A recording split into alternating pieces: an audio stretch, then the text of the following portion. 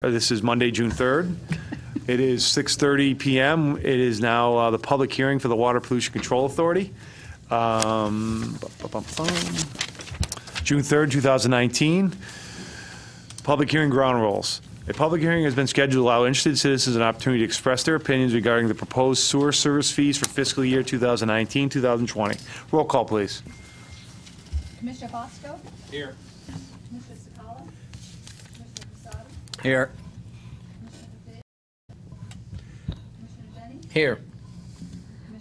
Here. Here. Here. Here.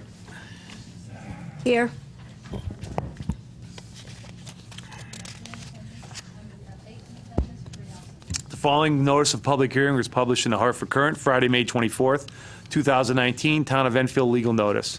The Enfield Water Pollution Control Authority will hear- will hold a public hearing in the Enfield Town Hall, Council Chambers, 820 Enfield Street, Enfield, Connecticut, on Monday, June 3rd, 2019, at 6:30 PM, to allow interested citizens an opportunity to express their opinion regarding proposed sewer fee, proposed sewer- service fees for fiscal year 2019, 2020. Information can be found in the office of the town clerk at www.enfield-connecticut.gov by Susan Olechnicki, Town Clerk, dated May 21st, 2019. Item number three, the ground rules for the public hearing. There is no town, town, time limit, but I ask that each person not take up too much time so everyone has the opportunity to speak. After each person who desires has had one chance to speak, we shall permit individuals to desire a second chance. After those individuals desire a second chance, we shall permit those individuals desire a third, fourth, etc. And please refrain from personalities. Quit, we are going to open up with a quick presentation, then we'll allow the public to come up and speak specifically on this public hearing. Turn over to Kasha. She's doing the clicking since we don't have a remote clicker. Um, We felt it important for um, members of the public that are here and at home, just to revisit very, very briefly why we're here today um, and why we have this independent rate structure. And I'll just tell you, it was because we had several significant violations under the uh, DEP uh, that were threatening really fines of up to $50,000 a day if we didn't remediate. So that's when the town went into the design mode and went to referendum to have the new plant built. Uh, It is under construction. We'll be at the one-year mark in October, and it should be completed in October of 2020. As part of the requirements of the DEEP grants and the funding, uh, they require in the federal government that we have a separate taxing authority. We could no longer just do it in the regular tax bills because we were paying for this previously, but people didn't see it. It wasn't broken down separate as your motor vehicle is or your fire district and your real estate taxes. It was within the town taxes. And the federal government said you can't do that any longer. So the town adopted a rate program. They had Woodard and Curran do a presentation, and it was comprised of two parts.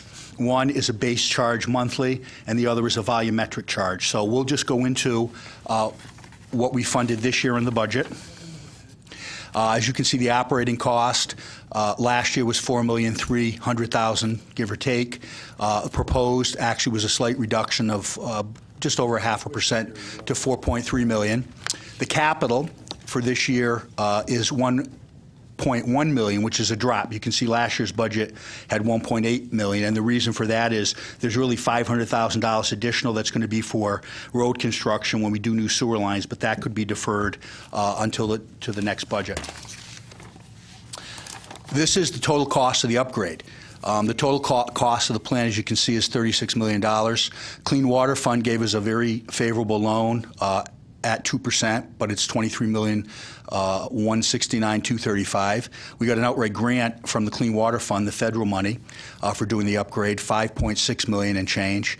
Uh, We just received the bond commission authorized, and John Wilcox sent uh, the invoice to verify under our agreement with the state for the upgrade, their contribution is 2.5 million. We'll be receiving that shortly. And then we had a bond, the balance, which is 4.6 million and change. Now, people say, well, why, why do we have to pay this? Well, we have to repay, just like we do the high school, JFK, the roads projects. There's a cost to borrow money. Uh, the 20-year loan uh, from the Clean Water Fund, which will be begin for repayment over 20 years will be in the FY21 budget. And as you can see, with the principal and interest, the payment schedule is listed there. It's approximately $1.6 million a year. The next loan uh, is the bonding, which I uh, indicated we borrowed 46, or $4,672,206. That will be, uh, again, to have to be repaid in FY '21 as well. You can see, and it's 20 years, but the charts didn't really fit, so we gave the first 10 years of the payment plans on both. Um, But you can see the beginning principal interest, the first year will be $327,000 uh, approximately, and that will commence in '21. So, in the past, because we had commingled funds, and the government said we had to stop, we owe, three- we owed 3.5 million uh, from the general fund. We've been paying it back, uh, and we still have $850,000 to go, and that's going to be budgeted on a yearly basis. Um, The proposed rate will generate 6.9 million per year. Uh, And the future need, by 2023, with those repayments in place, and we'll show you the schedule, we've had it in the past of Woodard and Curran, we'll need $8 million a year in 2023 to meet all of our obligations. This does not include um, the uh, $500,000 from the Novak report for additional per- uh, personnel. We're in the process of hiring a new superintendent at the water pollution control. He'll review the NOVAC recommendations and see exactly what personnel we think we need to run the plant and maintain it, because it's going to be brand new, and we want to make sure that we don't um, have disrepair and costs associated with not properly maintaining it. As you can see, we, I think we finally got this in a more uh, understandable form. It's broken down in 2019. This is the Woodard and Curran. They were our consultant. The base rate they had recommended was $30 a quarter, and then the volumetric was $3.49 for lower uh, gallonage, and then over a higher rate, it would jump to 524. Last year, you adopted $21 a quarter. So it was $9 less than their recommendation. And on the volumetric, you were much closer. It was 343 and 513. In the 2020, uh, the recommendation by Woodard and Curran was to go to 36 per quarter for the base rate, and the volumetric was 360 and 539 respectively. What the recommendation is here is to not go that high, although that was their recommendation to be online to start those heavy, heavy repayments, especially by 2023. But you went with the 2019 initial recommendation, so you went with $30 per quarter for the base rate, 349 and 524 for the volumetric. To the average household, this results in an increase of $41 a year or $10.28 a quarter. If you look, you can see our current rate where we are. Uh, We're one, I mean, just below the top or the lowest rates of the three others, Manchester, New Britain, and Somers.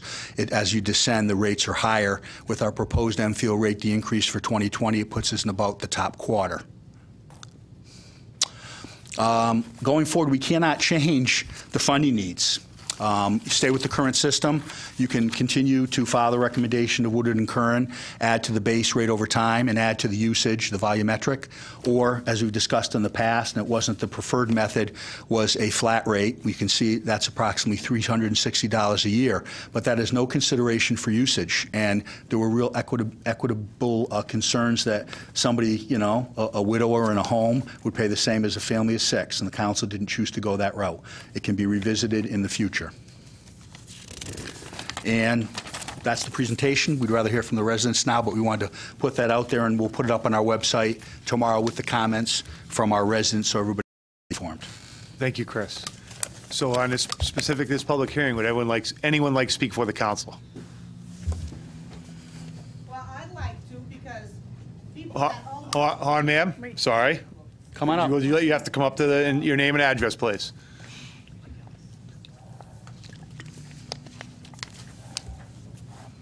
Can we put the screen up? Well, my name is Joanne Dion, Sorry, go ahead, ma'am, you can sit down, and yes, your name and address, please, for the record. 23 Walnut Street, Okay? Enfield. I own a duplex on that property for 15 years. When it first started in 2014, I'm against paying for people that use facilities. I don't, nobody buys my toilet paper. I shouldn't be paying for them to flush the toilet. So this is where I get my problem. This is a big problem because if you rent for three people, six people move in, they're already on the state, and now we gotta pay for more that they're using. So it's wrong. It's just wrong. It's just like, I feel that it's socialism in the town of Enfield. That's what I feel.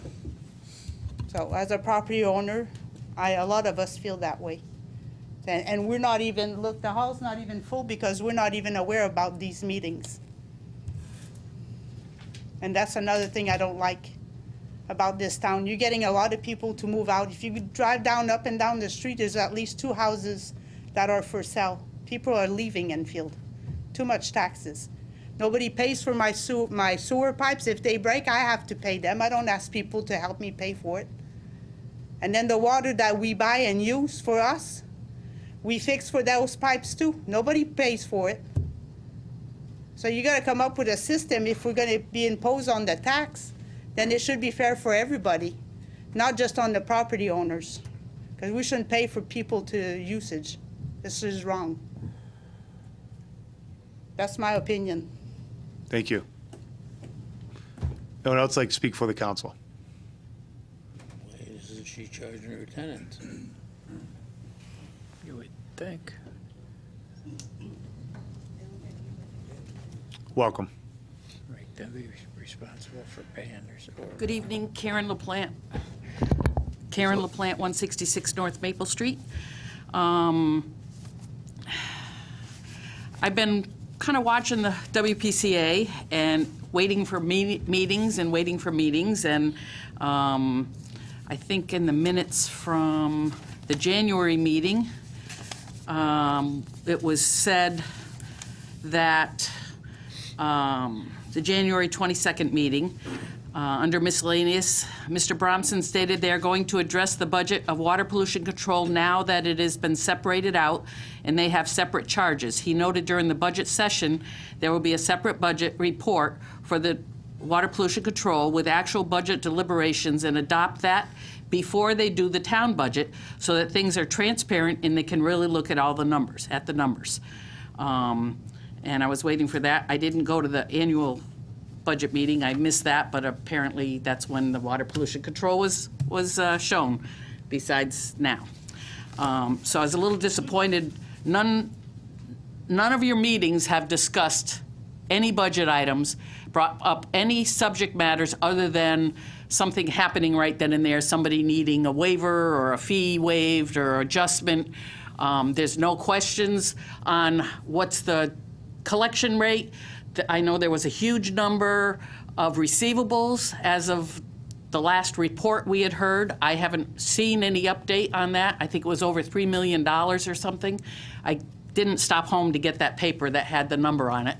Um, But I had heard once the collections actually started, somebody actually started making collections, that the collection rate improved, so you should have gotten more money than you expected in this fiscal year.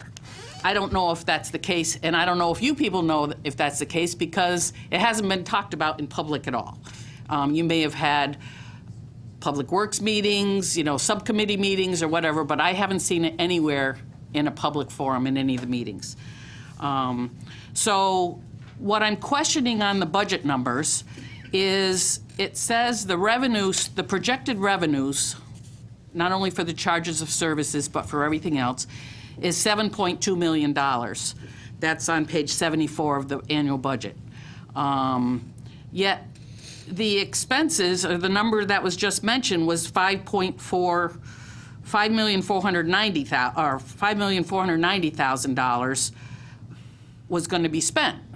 So what I want to know is what happens to the other $1.75 million?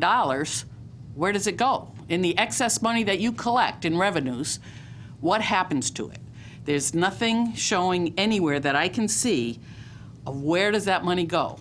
Um, This fiscal year, it's harder to tell how much extra you might have brought in, but just looking at Hazardville Water's um, revenue for the calendar year last year, and again, it's hard because we're fiscal year and their calendar year, but um, Water sold, um, let's see, 7 million gallons more than they did the year before. So that would mean we should get revenue in the sewer collections of an additional 7 million gallons times the cheapest rate, still gives us an extra $24,000 in revenue. Now, it's not a lot of money, but um, most of those were Enfield customers. There's only a small percentage, there's a couple hundred customers that are Somers and East Windsor in that possible 7 million gallons. So some of it might have gone to another town, but most of it probably came to Enfield. Um, So the other question I had, you talked about the $250,000 per year payback of the 3.5 million that was borrowed from the town. I don't see that in the budget anywhere. Um, So I'm wondering, where does that show up as, as paying it back? Um, And, and I don't think that's included in the 5.49 million, but it could be. I, I don't see it there. It's not in the capital improvements part of it or anything. Um, And if the budget decreased by 10.7%, I'm wondering why you're actually raising the rates, because that means we're going to have an extra 10.7 plus the increase in extra revenue than we really need. So that means we're going to have even a higher surplus um, than, than we've actually budgeted for. Um, So I, so I'm wondering what we're going to do with that. Um, The revised budget of 2019 showed revenues of 6.434 million, which is still, at the current rates, is still $944,000 over what we're looking for this year. So again, you're raising the rates, and that's with those capital improvement projects that are listed on the budget included. So, so what's happening, if we didn't even raise the rates, we'd probably get somewhere in the $940,000 additional revenue if we just kept at the same rates. Um, So unless we're putting this money aside for this future thing, but even the payment at 1.7 excess, we've already paid the first payment for, for 2023, and it's only 2020.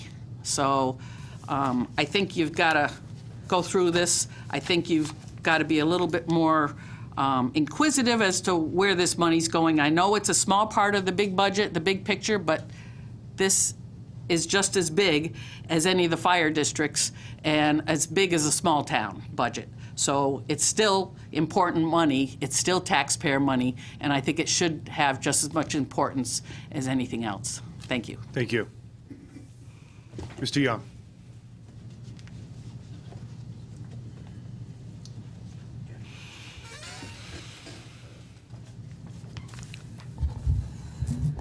Uh, Good evening, Council.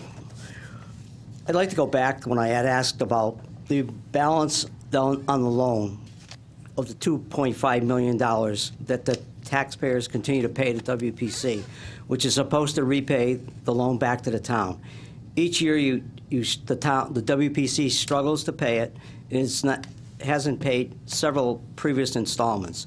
Is there any way the balance could be considered as seed money? I'd asked this question before to the WPC and eliminate the debt and the burden from the WPC and the sewer bill and obviously the taxpayers.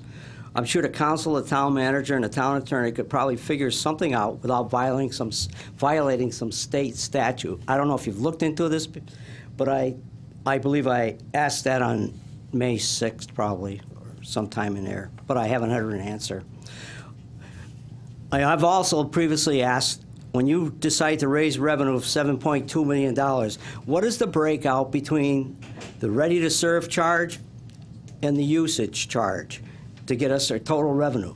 You had to have projected each one as to how much you're going to collect, so we have an idea of where you're coming from. Because I cannot tell you how many customers you're billing, and from prior meetings, it doesn't sound like you really know either. Um, The last, well, when I look at the budget, I'll agree with Karen. She mentioned that we're trying to raise 7.2 million, and we only have uh, 5.1 in expenditures. Is it because this time we are not putting down the capital expenditures in one of the sections to come up with that? The difference isn't exactly the same, but maybe you could answer that question. Before, before you changed in 2014 to the, the new way of collecting monies, we used to pay about one mil in our regular tax rate, maybe a little shade higher. And that's about $170 a year on a $200,000 value home, let's say, or something like that.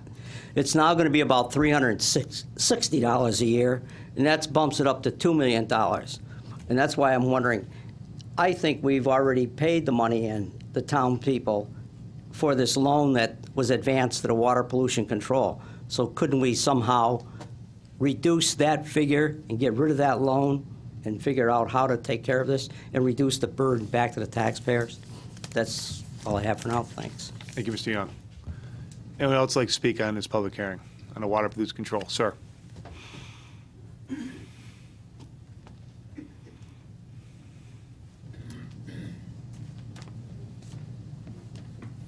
Hi, uh, John Porcello, uh, 30 Monroe Road. Um, So I was shocked when I got the bill with the $31 in it. Um, All these things that we do up here that we're doing the estimates, they're all based on a 5 eighths meter, right? Well, guess what? Birdland, all the star homes that were built in the 60s, they're all three-quarter inch meters. So that means that we need to take that $30 and do $45, which is $180 this year that my taxes are going to be. Okay? I went from a $16 bill on 5K gallons to a six, uh, $48 bill. That's a 65% increase, okay? I barely, I don't use a lot of water. So why, when you look at the study from 10 years ago, or from 2013, sorry, where the study had nothing to do with this, this base, uh, base rate, and definitely not all these different meter sizes. And what makes a home that is a family of six different with a 5 eighths meter versus a three-quarter meter? It, it doesn't make any sense. Um, and, and again, I, I think the biggest thing is, you know, I've been, I've been in Enfield all my life, and, you know, my, my taxes go up about three percent, three point five percent a year, it's a couple hundred dollars, property tax. Well, last year, my, my taxes went up seven point seven five percent with this increase of the sewer tax, along with whatever happened to my property taxes.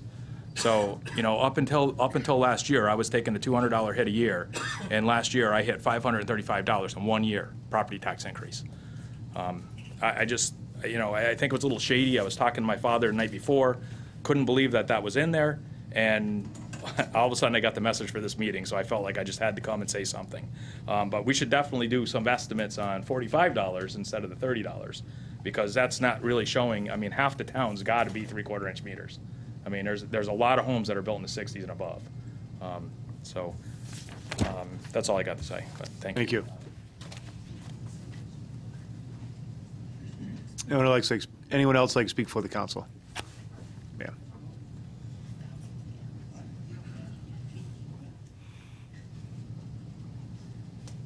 Hi, everyone. I'm Christine Crisatelli. I've lived here all my life. I live 57 First Avenue. Built my home in 2005. I am one person. I have a 1,498 square foot home. No, yeah, 1,490 square foot home. I live by myself. I don't water my lawn. I don't wash my car here. Two weeks out of the month, I'm not even in the state of Connecticut. I'm not even in Enfield. I'm staying in Springfield. Why, when you base this, I have a well.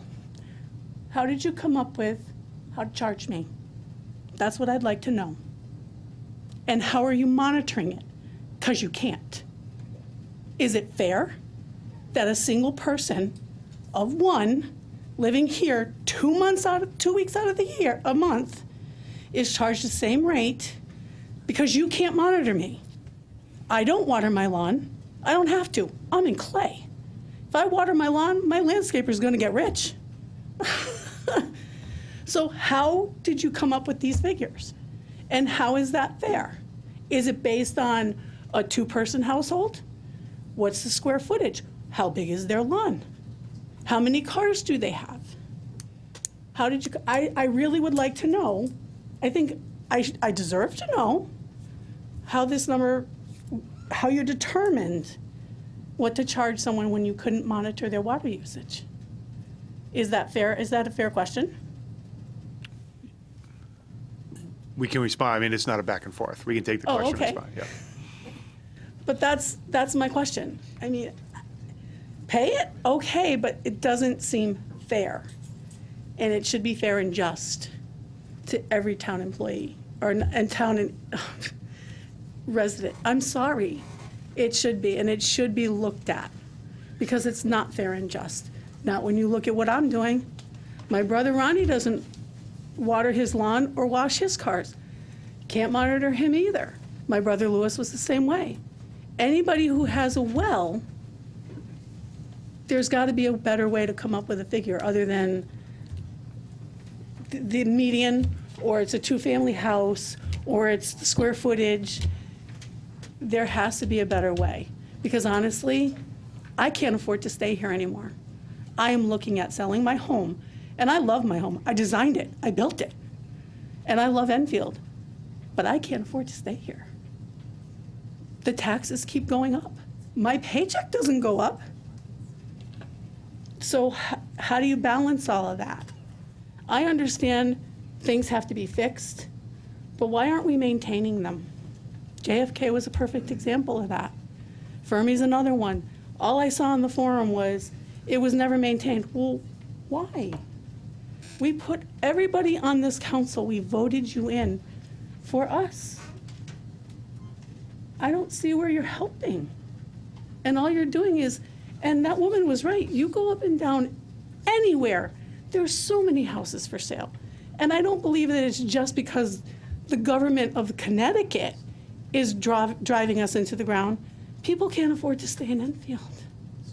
It's expensive, and it's expensive to live.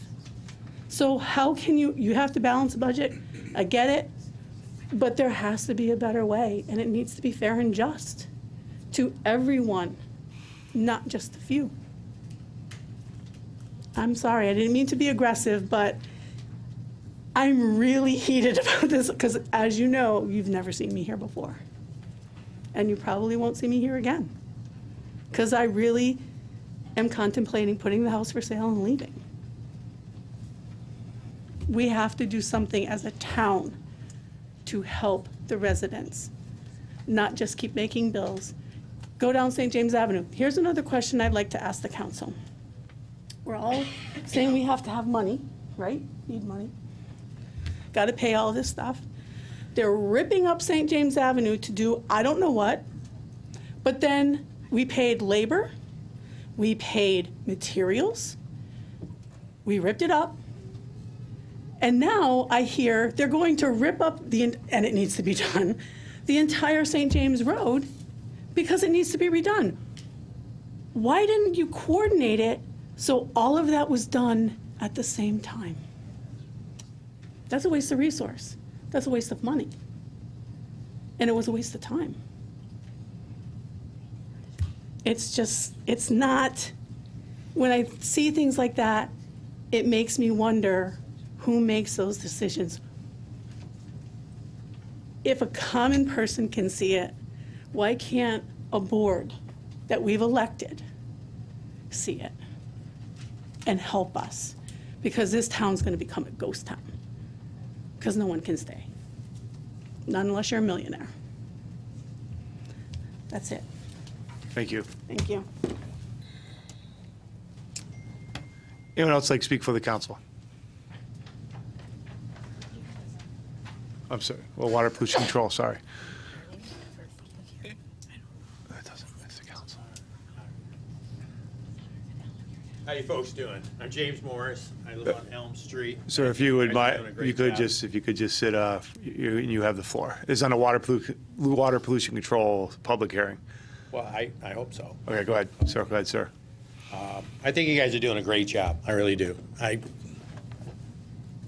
can't say enough about it. I really can't. You guys got so much on your mind, and you guys are doing so much.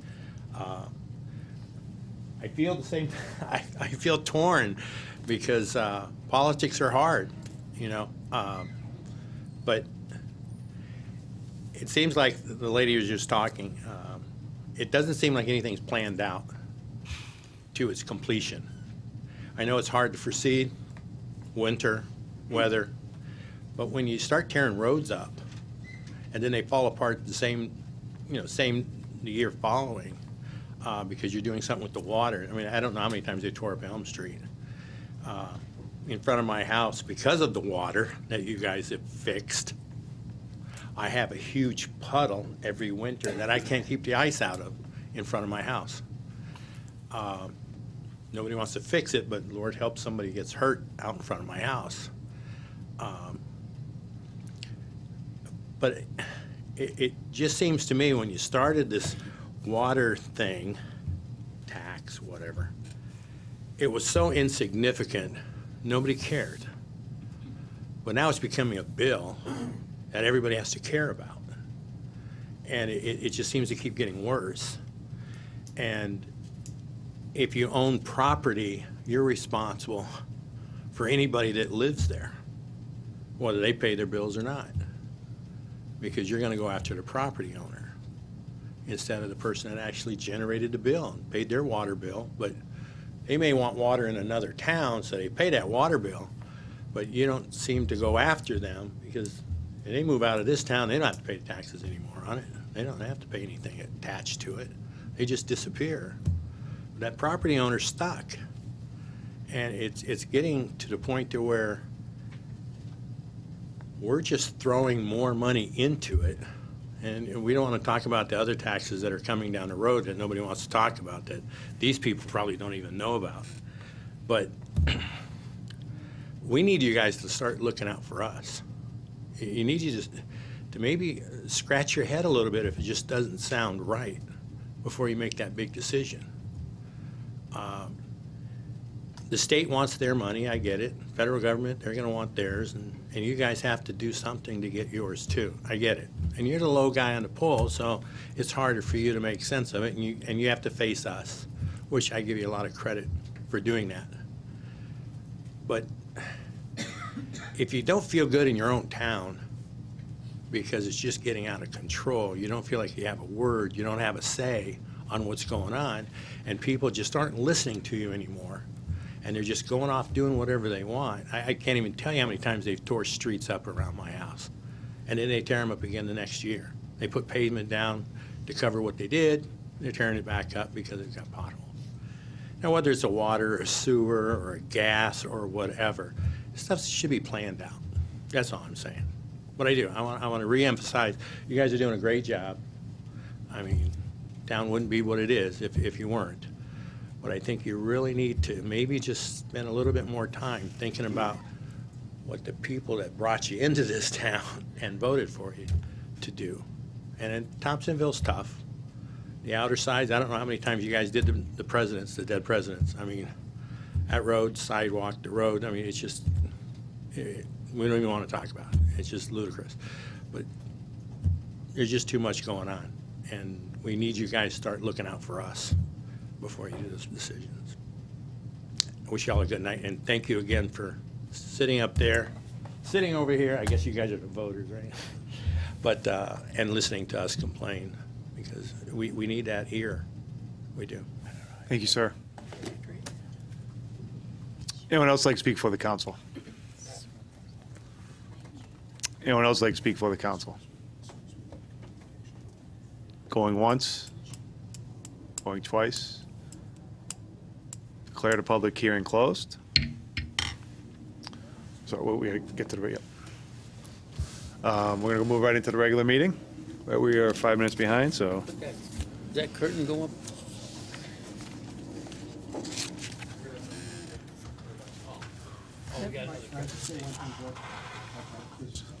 Uh, And the people that had some questions about Mrs. Crisatelli, just if you can wait till the next meeting, I'll get you some answers, but we can't answer it here. Okay, yep, thank you. Yep. Thank you. Just let me know when the next meeting is. It's starting right now. Oh, Yeah. Already then? So uh, call the regular meeting Monday, June 3rd to order. 7:06. To show the projector. Uh, Prayer will be by Councilor Denny. There won't be a prayer tonight, but I'd like your attention. uh, uh, On June 6th, 75 years ago, was D-Day. And um, there was a lot of sacrifices made. One in particular uh, that hit me in the face was uh, U.S. casualties in five days. From uh, the 6th of June to the 11th was uh, almost 9,000 casualties. So I'd like to just uh, take a moment uh, to remember all those people who um, suffered and died. And also, if you uh, run into a World War II veteran, which there's uh, almost uh, 500,000 of them still living, there must be, they're all over 90-something. Uh, Just take a moment and think of the sacrifices that made us all do what we do here in peace.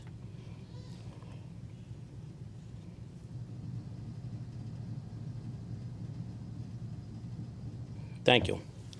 I pledge allegiance to the flag of the United States of America and to the republic for which it stands, one nation, under God, indivisible, with liberty and justice for all.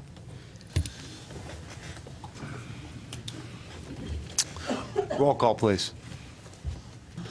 Councilor Bosco? Here. Councilor Cekala? Councilor Crissati? Here. Councilor Davis? Councilor Denny? Here. Councilor Keiner? Here. Mayor Ludwig? Here. Councilor Muller? Here. Councilor Srazza? Here. Councilor Suzak? Here. And Councilor Ungary. Here. We have nine in attendance and two absent. Uh, I'm moving on to item four, fire evacuation announcement. In case of a fire, please move orderly. We have an exit in the back of the room. We can either go left or right out the door, or to our left, your right, out that door, down the first door to our left, your right, down through the stairs and out into the parking lot in case of a fire. Moving on to item five, minutes of preceding meetings. Do we have a, a motion to approve special meeting May 11, 2019? By Councilor Denny, seconded by Councilor Muller. Is there any additions, deletions, corrections? Hearing none by show of hands, all those in favor? Opposed, abstentions? Seven in favor, one abstention. Do I have a motion to approve special meeting May 20th, 2019? By Councilor Muller, seconded by Councilor Crisali- Crisati, excuse me. Is there any additions, deletions, or corrections? Hearing none by show of hands, all those in favor? Opposed, abstentions? Seven in favor, one abstention. And do I have a motion to approve the regular meeting of May 20th, 2019? Councilor Ungary, seconded by, Second. counted by Councilor Muller. Is there any additions, deletions, or corrections?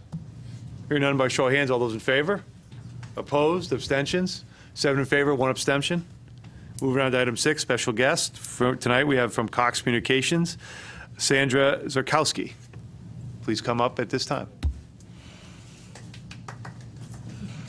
Mayor, just by way of introduction, we, at the last meeting, had a present, well, a resolution and presentation by a group that's going to be doing public service announcements for the town six over the next two years. And also, we've outreached and we had um, Kasha and our IT um, director, Mr. Russell, go to Cox Communications, see what they had to offer.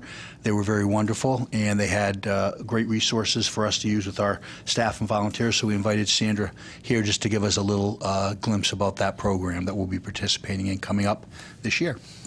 Welcome, and you have the floor. Hi, and it's my pleasure. Um, I always love to talk about what we do at Cox Public Access. And um, I'm really happy to have had the group come forward and say that they'd like to do some shows about what goes on in this town and what makes this town so great to live in. It, uh, your economic committee would like to come in and actually talk about uh, why people would want to live in Enfield. And uh, we'd be very happy to help them make that happen. Um, uh, Cox runs everything with volunteers, and we provide free training and free use of our equipment and free use of our studio to do any kind of public TV shows. Anybody in our town is eligible to take workshops with us and actually produce their own show or work on a show that's already existing. And we've got a few new shows starting up pretty soon, so we'd like to get some workshops going, and we'd love to have some volunteers come through to make that happen. Um, a lot of a lot of you that are sitting right here have been on our show at one time or another or have had your show.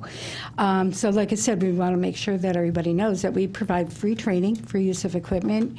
We'll teach you how to produce a show. Um, we have some people, a core group already, that's ready to come forward and try to pull some volunteers together to make a show happen that will talk about Enfield. Um, tourism, I believe, is one of the things we're going to talk about. What, what kind of things go on here? What kind of events we have to offer offer. We can talk about things that go on in this town. We have a big Fourth of July uh, celebration every year that's run by volunteers.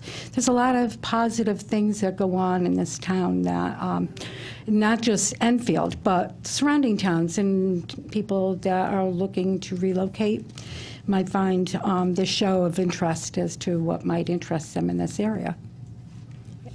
Anything else that I can?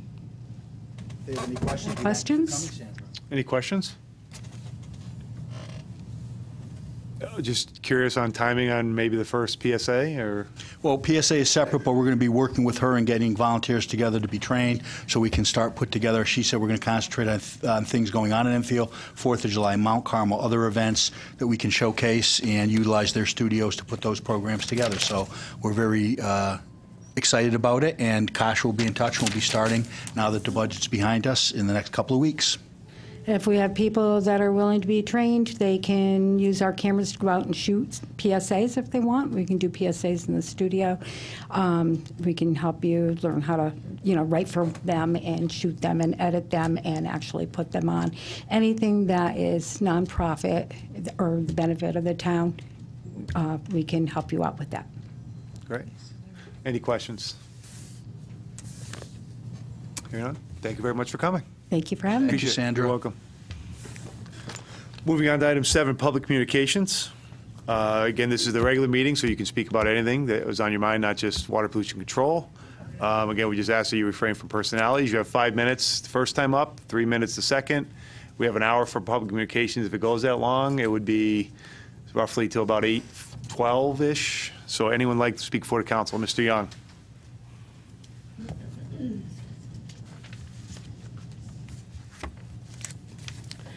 Good evening. Welcome, Uh, sir. Tonight, George Young, uh, Holly Lane, Enfield, Connecticut. Tonight, with the PGA Tournament and the Travelers Championships this month, I'd like to start the evening on a positive note and do what Mr. Crissati does so often, which is to compliment one of our sports teams or members. I'd like to recognize the Greater Enfield Golf League. It is one of the longest continuous running golf leagues in the country. It started its 56th consecutive year of play this year. It is a group of 108 individuals who play on 12 business or club sponsored teams. Members of these teams range in age from 20 to 80 plus and play nine holes of golf each Thursday evening. The team sponsors are many familiar names in the local area, which I'd like to mention at this time Ambit Energy, Artioli Dodge Chrysler, Constitution Cable Products, Control Module, Gray's AA Club, Jared Insurance, Kinetic Tool, Mike's Auto, Pepsi, Ringside, Springfield Family Chiropractic, and Wealth Preservation Group. They have been contributing in a positive way to Enfield since 1963, and really, I've never heard much recognition in town, so I just wanted to mention it. I know a couple of teams currently have a, an opening, so I would encourage anyone to consider joining. The players come from all walks of life, including carpenters, electricians, attorneys, policemen, accountants, and many retired and employed individuals. So that's the end of my positive notes. The the accountants are the A players? B players. All right. At this time, uh, could we get an update tonight on the Roads 2015 project? As it is now June, and I see no shovels in the ground on St. James Avenue. Please identify who the contractor is, and when will they start St. James Avenue? Will they finish before December 1st, 2019? I hate to go through another winter with this nightmare, since now I believe the uh, Connecticut Water Company has finished their work. Has the road area of 30 St. James Avenue section been looked at yet for the consistent water content issue in the road? And if so, what was the conclusion? Will it be a Connecticut Water Company problem, or is it the town's? Before the final approved budget is published in September, will the Finance Department summarize by category or of expenses so we can see this summary as I have previously requested? I know we're going to have an opportunity to speak on June 12, 2019, regarding the roadway reconfiguration on Route 5 between Grant Street and University Place. Would the council or the town manager enlighten us tonight as to one, is this already a done deal? And are we only there to learn about the project? Two, will there be a discussion about safety when passing school buses? And what I see is a long stretch of one-way Route 5 highway where the buses make frequent stops to allow students to embark and disembark the buses. And three, do we have to register in advance to speak? Thank you. Good question. Thank you, Mr. Young. Anyone else like to speak for the council? Jack?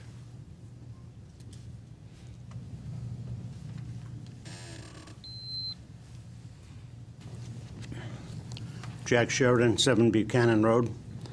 Um, The people that voiced their frustration at the water pollution meeting, uh, I mean, the water uh, charges, the bills, it's easy to understand why. Most of us in town who pay our taxes have to live within a budget. You guys don't seem to realize that. You don't seem to realize that you should be living within a budget. And instead of just constantly going into my pocket for more money, for whatever the, the things you're trying to do, try to do it more effectively and, and, and more reasonably.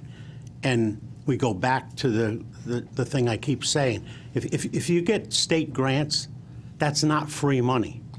It doesn't grow on trees in Hartford. It comes from us. Why do you think they're going out and, and putting tolls in? They want tolls because they, they're giving us more money for grants than they can afford. Their revenue's down. Revenue will go down continually if you keep pressuring the people to, the, the, the, the price of houses goes down, even if people sell. The prices of houses are going down. People come here and they hope that you'll listen. But my, my uh, feeling is, in all the times I've been coming here for years, oftentimes you don't listen. It's, it's all this greed, like JFK, putting all of that money into that building that you didn't need to do because you got a grant. Now, the grant is going to cost us whatever, whatever the dollars come out, $30 million. We could have done it for 16, but we're getting 89. So is that greed? We didn't need it? That's, those are the kinds of things that you could do more efficiently and not have to keep raising the cost. You know, when you had the uh, uh, consultants come in, uh, was it Curran and somebody, I forget the names, they came in and come up with all of these prices that were supposed to be good for the water thing, and now you, you get the same people doing it for the public works. When you start dividing all of these things from ad valorem and, and, and add to it a, a separate charge, it's still a tax. And when you talk about, our, our town manager last uh, meeting said, you know, when you look at it, the amount of money that they raised is really small percentage of the entire budget. But you could say that in reverse too, and say that, well, you, you spent that much more that you didn't need to spend. It, it, it, it just, it's very frustrating to see these costs keep raising. And, and then, I, I, you know, you got unfunded mandates. So the, the state says they're going to do like the circuit breaker, and then they would, you know, renege on that. Why they renege on it? Because they're shoveling out grant money to everybody. We'd be so much better off if we didn't have grants, because that would force you to live within your means. That's what we all have to do. We have to live within our means or move out. Um, and I'll go back to the hot patch machine. I've still not seen that hot patch machine being used. We spent the money for it. It was supposed to do a good job on, on especially in the colder weather, to, to put a hot patch down. I've never seen it being used. So for, for all of those reasons, the frustration level is, in my opinion, very easy to see. Thank you. Thank you, Jack. I don't think you're listening anyway, so I don't know why I waste my time. Anyone else like to speak for the council? Anyone else? Going one, sec, for the second time? Anyone else? Declare public communications, public communications closed. We move on to item eight, council communications. Councilor Bosco. Okay, I just want to maybe, maybe set some things straight. Um, Some of the stuff that Mrs. Chrisatelli and the other gentleman and, uh, uh, I should say Miss Chrisatelli. Uh, When, um, when we go back and you talk about like the, the junior high being in disrepair, actually, the town council for many years paid for them repairs on there, and we had previous school boards, not like the ones we have right now. The board we have right now works very well with the, uh, with the town council, but uh, the town council was putting money in to get repaired in the school. Once you give them money, they can spend it on anything they want, and they weren't spending them on the repairs. And it- it- we, there's, we can't have a to- back and forth, but I will be more than glad after. You can give me a call or meet me in the hallway and I'll, I'll talk to you about it. So, the town of Enfield did pay for these repairs, they just didn't get done. Uh, The uh, thing with George and the uh, mill rate, where we used to pay a mill for the, the the sewer, but that was, you know, everyone keeps saying, well, I don't, I don't water my lawn, my lawn don't take uh, sewage, but before that, when you had that one mill, mill tax rate, you were paying it on your car. You were paying it on your motorcycle. If you did anything and you, you know, businesses had to pay it on their personal property. So all that stuff before you were paying for it, you just didn't know it. So, so, well, I, again, there's no back and forth. Um, you know, so people were paying this, this bill, but they were paying it for things that they didn't. You, I don't know if you may be able to get a meter put in, which would, would meter the flow, because there is no way other than an average that, that they have, and that's how they came up. The average household paid so much money. Um, When you're talking about streets getting dug up, well, we don't own the water mains, we don't own the gas mains. So what happens is, We've been working hand in hand with the water company and the gas company, trying to get them to do the repairs before the road is done. But we can't force them to fix their water mains, we can't force them to fix their gas mains. So as time goes by, if something deteriorates, you may have a brand-new road, and that water main deteriorates, gets cracked because, you know, when they, when they compact, the brand-new road gets dug up. It's not the town, it's not our water main, but we can't force them to fix it. So where you're talking about St. James getting dug up, paved, dug up, paved, well, again, we're not doing them repairs. But that's where we saved you money because we worked with the water company to get all the mains and all the, the gas work done in the street. So this way, when the brand new road goes over it, it, it, it it's going to be, it should where it shouldn't break. Now, we can't cut a road and leave it open for a year. So what they do is they cut the road open at their expense. They have to patch it, which doesn't mean that a month later from there they're going to do a little more work next to it and they dig their patch up. But that's for public safety, so the roads are constantly have blacktop on them. So that's why they have all them patches and all that stuff in the paving that was done on uh, St. James, so that they could make the road as safe as possible, and you're not driving on a gravel driveway or uh, roadway. And what happens is, we had like Mullen Road was really bad. We had to because we didn't have the funds and we didn't have the um, the means and the engineering at that time. The road wasn't engineered to to do it, so we had to grind it. We had to pave it so the road could be safe. And then we can get back at it at another time when we had the funds to do it correctly and, and redo the road. So you may look like things are getting done over and over, but a lot of that stuff, town of Enfield has no control over. Water mains belong to the water company, and uh, gas mains belong to the gas company. Um, I'm trying to remember everything else.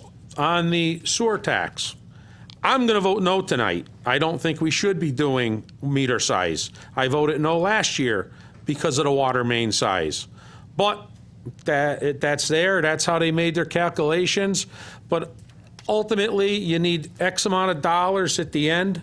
So you have to fill and make it. So if you did three quarters and you, you had the half, well, then they would have to come up here and this one would come down.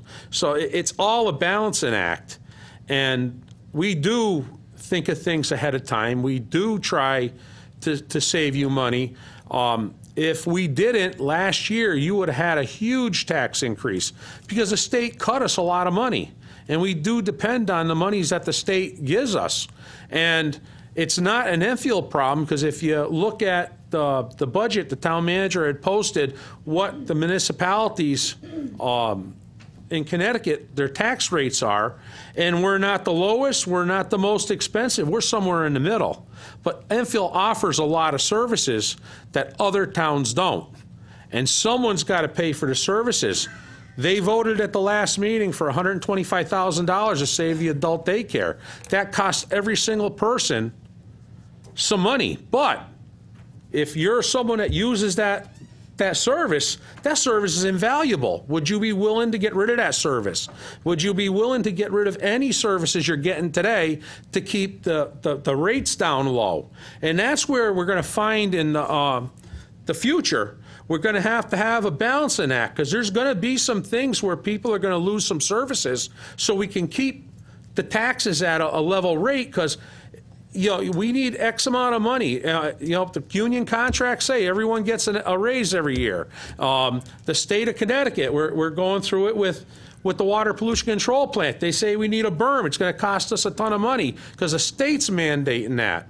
There's a lot of things that happen that you guys don't realize, and it's probably just as bad if we don't tell you ahead of time because automatically, you know, we got so much information running through our head and you go over it and over and over it, you almost feel that everyone else knows what you did. But when you have an issue like that, it's nothing. Just call. You know, each one of us, our phone numbers are there. Just make the phone call. And, and, and, no, I, I can't, I can't go back, I can't go back and forth, but I can tell you one thing, I answer every single phone call I get. And, and my phone is, this is my, my, my phone. I use my cell phone number. Anybody that goes and, and looks up my phone is my cell phone number, and I use my cell phone number for business. So I make sure I answer every single phone call. And if someone leaves a message, I call them back. And most of the time, if they don't leave a message, I always call that back because it's a customer that may have a problem, and I make sure I, I answer it. So if you have any other questions that aren't answered, either after the meeting, I'll be more than glad to talk to you, or you can call me at another time, and um, I would, 860 982 8827. Call you Friday. And I will, and I will answer the phone call, and if you, if I don't answer the phone call, leave a message and I will call you back. You know what they say, So- no fury like a woman's woman. Well, you know, I've mean, I, I've met worse and meaner, so I'm, I'm okay. Uh, Jack, they do use it in the winter. They're afraid to use the patching machine in the summer because of the motorcycles. They're afraid someone's going to fall on the stones. But we do use it in the winter, and it works very well. Um, I think I got everything that I remembered that I, I was going to talk about, uh, but I do have some other things. Uh, at, uh, through the mayor to the town manager, uh, Abbey Road in Monroe, they went and they fixed the curb. It's all washed out again. Uh, we need to either put a curb in there or something.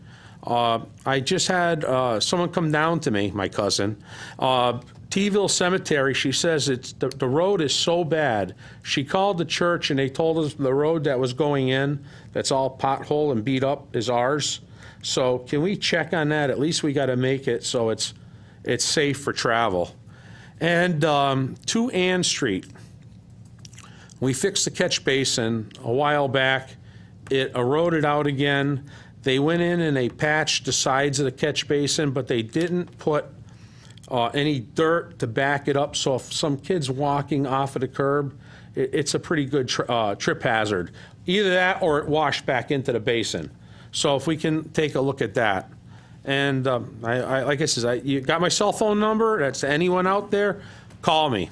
And uh, I, I will, I will hopefully answer it. I mean, I hope it's not going to be a five-hour-long phone call, but we'll, we'll get you till you're, till you get your answers.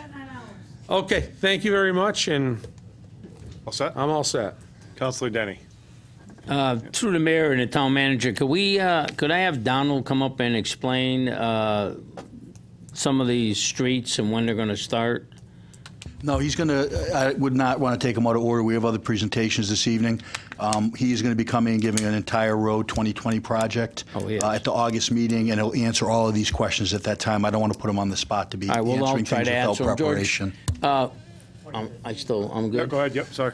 St. James Avenue will be done this year. Uh, The contractor, off the top of my head, I don't know. Uh, It's the same contractor as doing Gainey Terrace, Marshall Drive and Joan. Uh, Till Street, uh, in District 4 anyway, Till Street, um, Birchwood, and Birchwood Circle. And if I missed any, maybe they can yell at me. Uh, They're in the process of being done. The water company did a disaster on that road over a year and a half it took. the water that's leaking in the ground, when we start to repair it, we will, the, the water company will discover that it's their problem because it's coming up and there is a leak there at, at the bottom. And I, I think the engineers and uh, everybody knows about that. So St. James was at the end of the list. Uh, I tried to fight to get it ahead of time. Nobody wanted to do it, and it's being done this year. It will be done before December. I promise you. And uh, if there's anything else, oh, one more thing. I just uh, what what Joey said. Um, Pine Grove has a brand new street, and as soon as they paved it, one week later we had a gas leak there they had to put a patch. The, the, the, the Eversource came and dug the street up, brand new, never was driven on. I never even was on the street and saw him digging with, the, with a gas leak there. I mean, those kind of things we can't avoid. But St. James will be done. Thank you. See, Mr. Deputy Denny, you know as much as Public Works. He's going to be coming up to do my presentation, he- if he wants to elaborate, um, Mr. Nunes can do it at that time. That was my point. First, I'm going to take care of business. I'm going to make a motion to suspend the rules and move items B2 through B4, E, F, G, H, I, J, K, L, M, N, O, and P to miscellaneous and proceed to vote. Motion to suspend the rules and move to vote. Second. Do I have a second by Councilor Muller? Any discussion on the motion? Hearing none by show of hands. All those in favor? Opposed? Abstentions? Nine in favor, zero against. All right, you still have the floor. Okay, I have one more thing, and actually, if Mr. Lee would like to come up to the, because he has more information than I do, Oh, I don't think we invite anyone. we, to explain, I, Oh, it's public. okay. Yeah, so you- okay. Yeah. All right. On Sunday, the Hazardville Institute will be celebrating its 150th anniversary. There'll be a presentation at the Holy Trinity Church at 5:30. Um, Mr. Bill Hosley will be doing that. He is a um, historic preservation expert.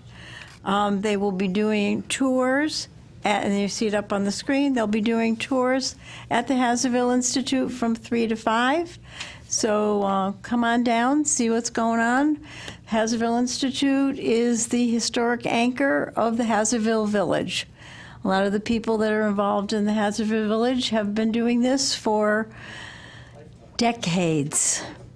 And we're hoping that we can kind of lasso that building in and get it open in an expedient amount of time. The, the back addition that people have seen go up is the um, addition that'll hold the lift, and it will be their secondary um, means of egress. So it's a safety and accessibility. So come on down, see it. Colonel Hazard donated the building to the town. The town's been taking care of it. See its history. It's been everything from a school to a youth center to a library. It's, you know, and I guess that's one of my things that, the only thing we can count on is change. So, and hopefully it'll be something else in the near future. Thank you. Thank you. Councilor Crisati. All right, for the people that, um, that talked earlier tonight, either was at the public hearing or for uh, communications, um, from George, George to Jack to, to everybody that spoke tonight, uh, we're going to listen to what, what you say, and uh, I do listen, Jack. All right, you know, you know, we, we hear you, you know, uh, but, you know, we're up here, we, we listen to what everybody does have to say. George, thanks for bringing up that Greater Hartford Golf League. Uh, the- Enfield The, the Greater uh, Enfield Golf League, thank you for bringing that up. Uh, It's pretty important to our community, and uh, thank you for being positive. Appreciate that. Um, Couple other announcements that, that I uh, just want to mention. Tonight, um, Liz Davis uh, is not in attendance here today because her daughter is receiving a state award as a scholar leader, uh, which is put on by the Connecticut Association of Schools uh, at AquaTurf tonight. And I just wanted to shout out that her daughter uh, Betsy Davis and Madeline Bouchard from JFK are getting recognized tonight for being scholar leaders from JFK. So congratulations to those two. Um, Another thing that I would like to mention, uh, coming up this week, that's going to be starting at the Enfield uh, Square on Elm Street, and it's going to come up Route 5, is the, uh, the Connecticut State Special Olympics Summer Games Torch Run. Uh, The Enfield Police, Allied Rehabilitation Services, and uh, Enfield Allied Stars are all going to be taking turns running with the torch for uh, the Connecticut Special Olympics State Games, which are going to be held at Southern Connecticut State University uh, this weekend. Uh, Opening ceremonies are Friday night, and the uh, Enfield Stars team will be competing in swimming, soccer, and track. And the, uh, the team is ready to go. Team is all set. They're trained for the last three months for this event that are, that is coming up. So we wish, wish them the luck. If you have that opportunity to uh, go out and see the, the torchlight run every year, uh, they've been doing it for years now. It's quite impressive. And I know that Carl has been involved with that for, for many, many uh, years. Uh, I do have uh, two other concerns. Uh, First of all, through the mayor to the town manager, and this is something that we had mentioned in regards to uh, the parade.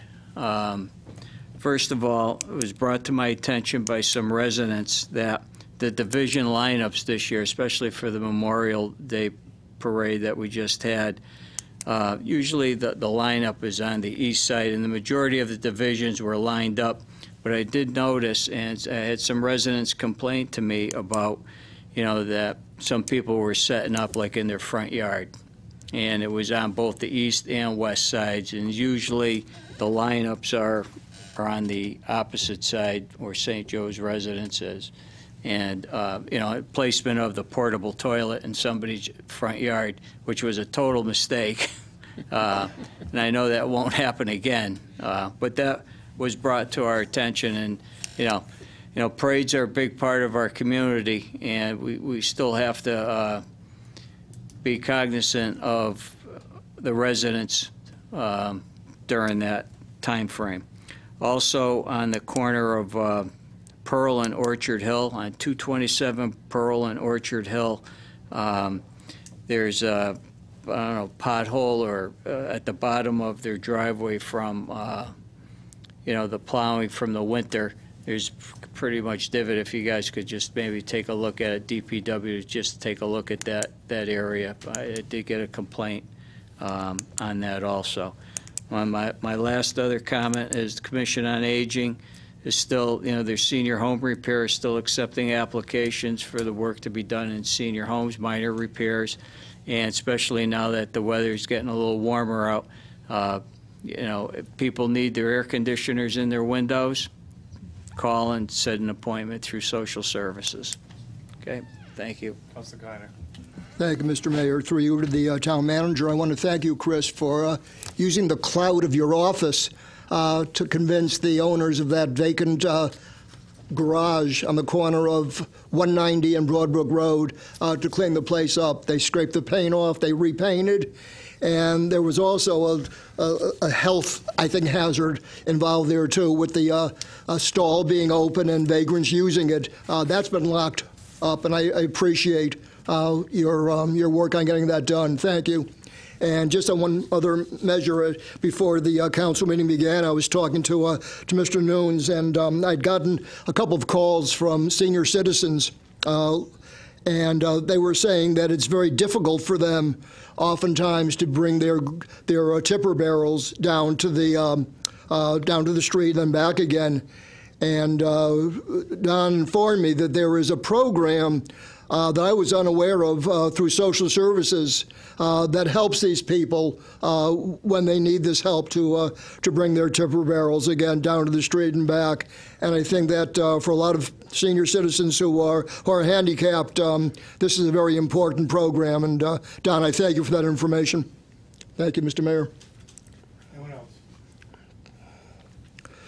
Uh,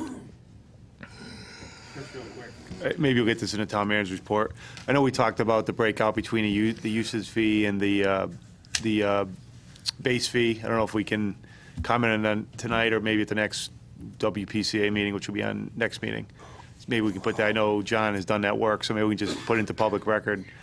And uh, so, for, you know, people know, for Mr. Young, I know he's asked that question. You know, and uh, also too, if it's not tonight, can we have the breakout on why, you know, the deficit situation we inherited as part of, the again, to do the math for people, so the questions on the math tonight on why there's, you know, again, it's important for us to reduce our expenses. We also have to raise revenue to make up for some of the deficit that has been occurred over the five-year period, which maybe people are forgetting from the presentation that we, we did back in, in, uh, I think, January timeframe, which is on your website too, by the way. October. You know, and, and the other thing too is that, again, you, on April 15th, you made the public announcement of the water pollution control along with the budget. So I don't want anyone to think that this is some hearing that this wasn't in public information. It was a press release, it was a town council meeting, it was on TV, and we had multiple different meetings. And you also had the meeting, the first meeting right after, where public could come back and forth, and you actually got some questions, Mr. Young, for example, asking some good questions in public, where you could have that back and forth. So again, we did have meetings, it was publicized, and, you know, I understand that, you know, people, no one wants, no one wants to pay more in taxes, but again, this was done back in April. I want that to be clear. And um, the only other thing, again, is that I want to just congratulate the Enfield baseball team for making to the third round of the baseball tournament. The softball team made it to the tournament as well, as did the boys volleyball. So again, some of the investments people are talking about are actually getting fruit as our, again, our kids are doing well in school. You know, and again, par- participating well in some of the state tournaments. And again, I think, uh, you know, the, the baseball game that was down at the Yard Goats, anyone had a chance, it was really done well for the kids. They had them on the big screen. They showed pictures of the kids. And Enfield traveled well. There's a lot of people from Enfield there, and they did a good job. So I will end on that note. And, I'll- um, and I have a question, Maria, and the town attorney, we get there first. Moving on to town manager report. Um, Before we get to project, I'm assuming you want to answer a few questions before we bring up people, or how you want to do it? Uh, Uh, We could answer questions first on if you have any other uh, issues. I'll just um, elaborate on Mr. Kiner's uh, comments that we did identify that as a need for some elderly residents uh, for assistance with their tipper barrels, and we do have that program. It was to have gone up on the website. I know Donald was working with Maya, and if, they- if it didn't go up, we'll make sure it does, because that's a great resource for those people who need that assistance. Uh, in regard to parades, as you said uh, previously, we get blamed for a lot of things. We don't organize the parades, but we'll certainly share that with those who do organize it because I think this year, with Mr. Plamanda not being uh, present, there's probably uh, some disruption and, and of responsibility. We'll make clear to them. I'm sure that was unintended, but we'll pass it along. I'm sure they've already heard, but we'll make sure we reach out to them. So if that's it, anyone have any questions on the PAR report? Moving on to the Head Start Stowe report. Sure. Uh, and what I'll say is I'll have a lot of these questions um, and I know we all get frustrated, and the residents do too. Um, a lot of these questions have been asked and answered, and we've put them in presentations. We've had people address them.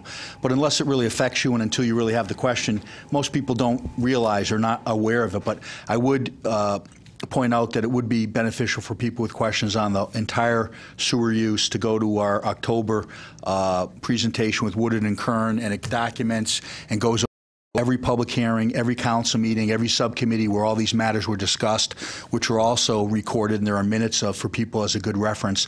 So most all of the things when people come up and ask, why didn't you consider this? Well, they, all of these questions I heard this evening were considered.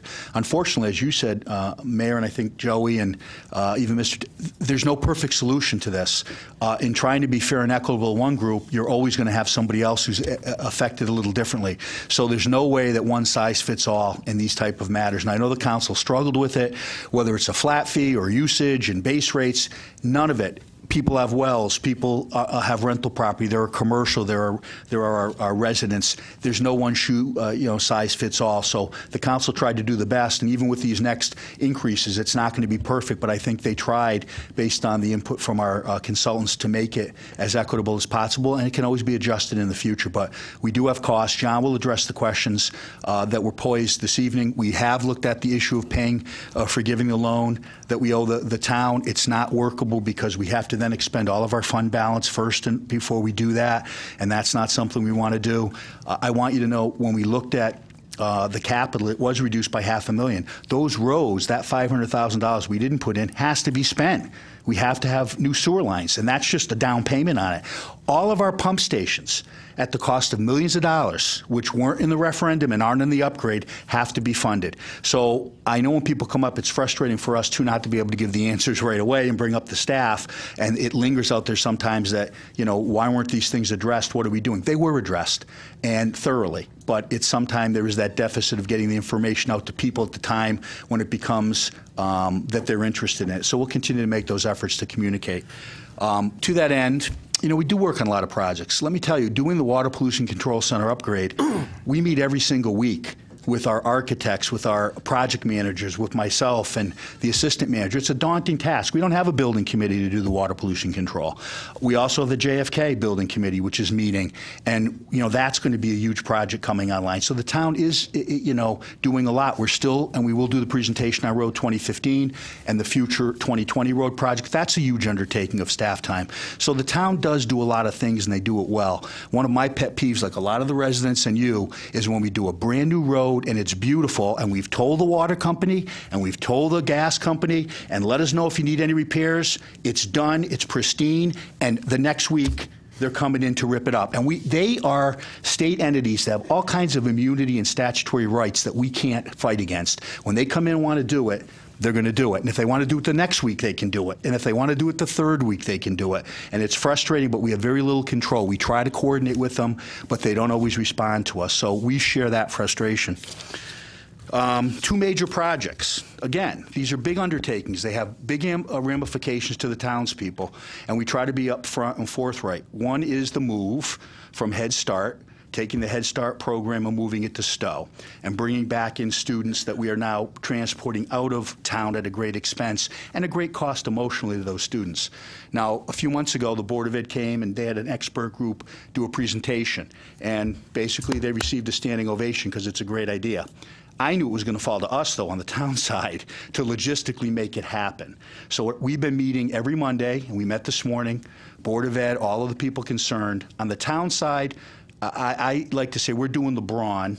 The Board of Ed and the Scholastic and the they're doing the brains of the operation. So if people have questions, they could continue and should continue to talk to the superintendent and to the board because they're talking about all of those things scholastically and programmatic and where the classrooms will go.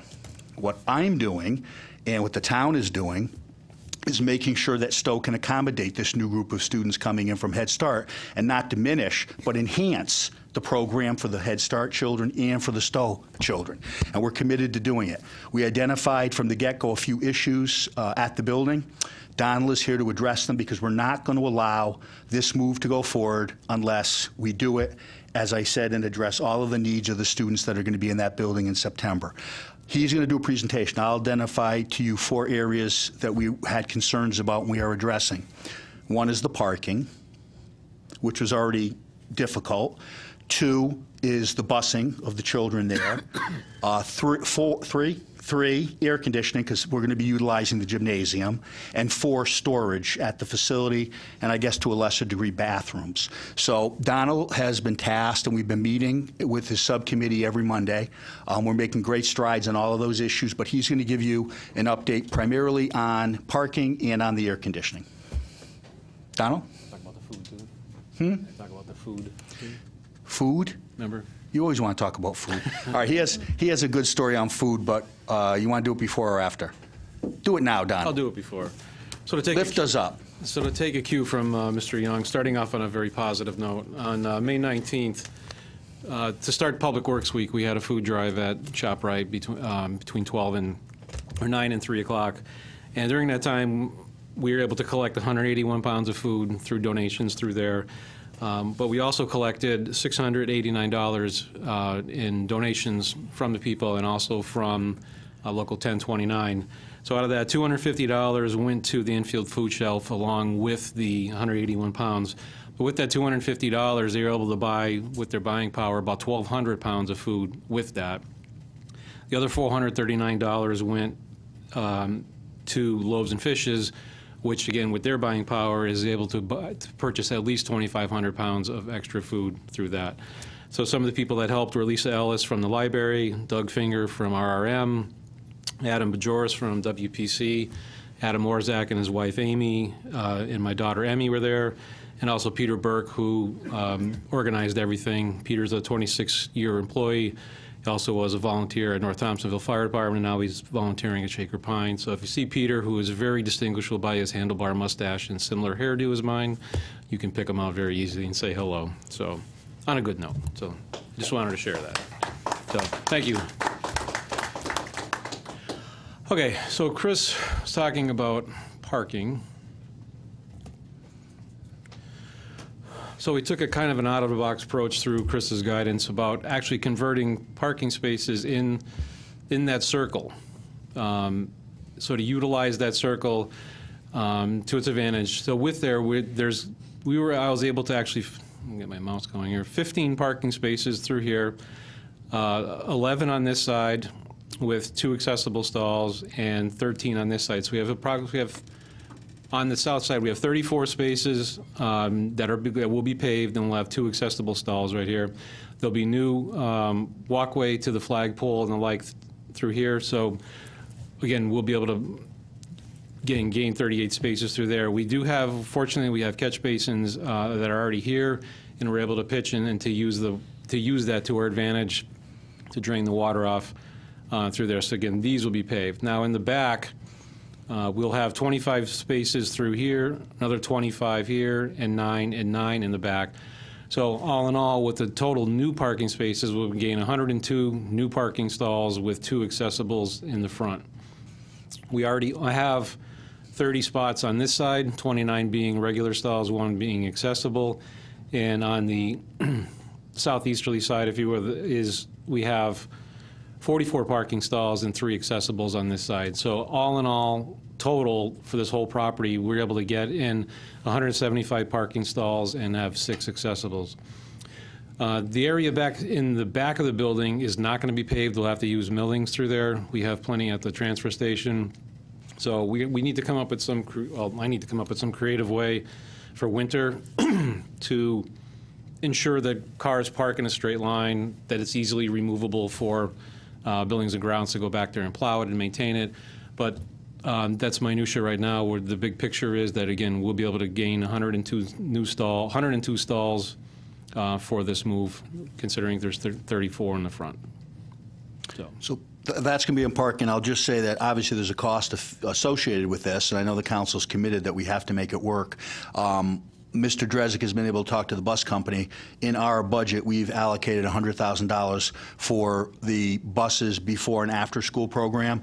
Um, Mr. Drezek has met with the bus company. They will take on that responsibility, thus freeing $100,000 in funding from our budget for next year, which we will put towards this expense. I don't think it'll cover it completely, but it'll be a lion's share. So that's the funding aspect, and we'll keep you apprised when Mr. Nunes get, gets firmer figures. Well, we do have an, you know, we do have an opinion of probable cost right now, and that's, with a 10% contingency, it's $135,000. So we're close. We're close.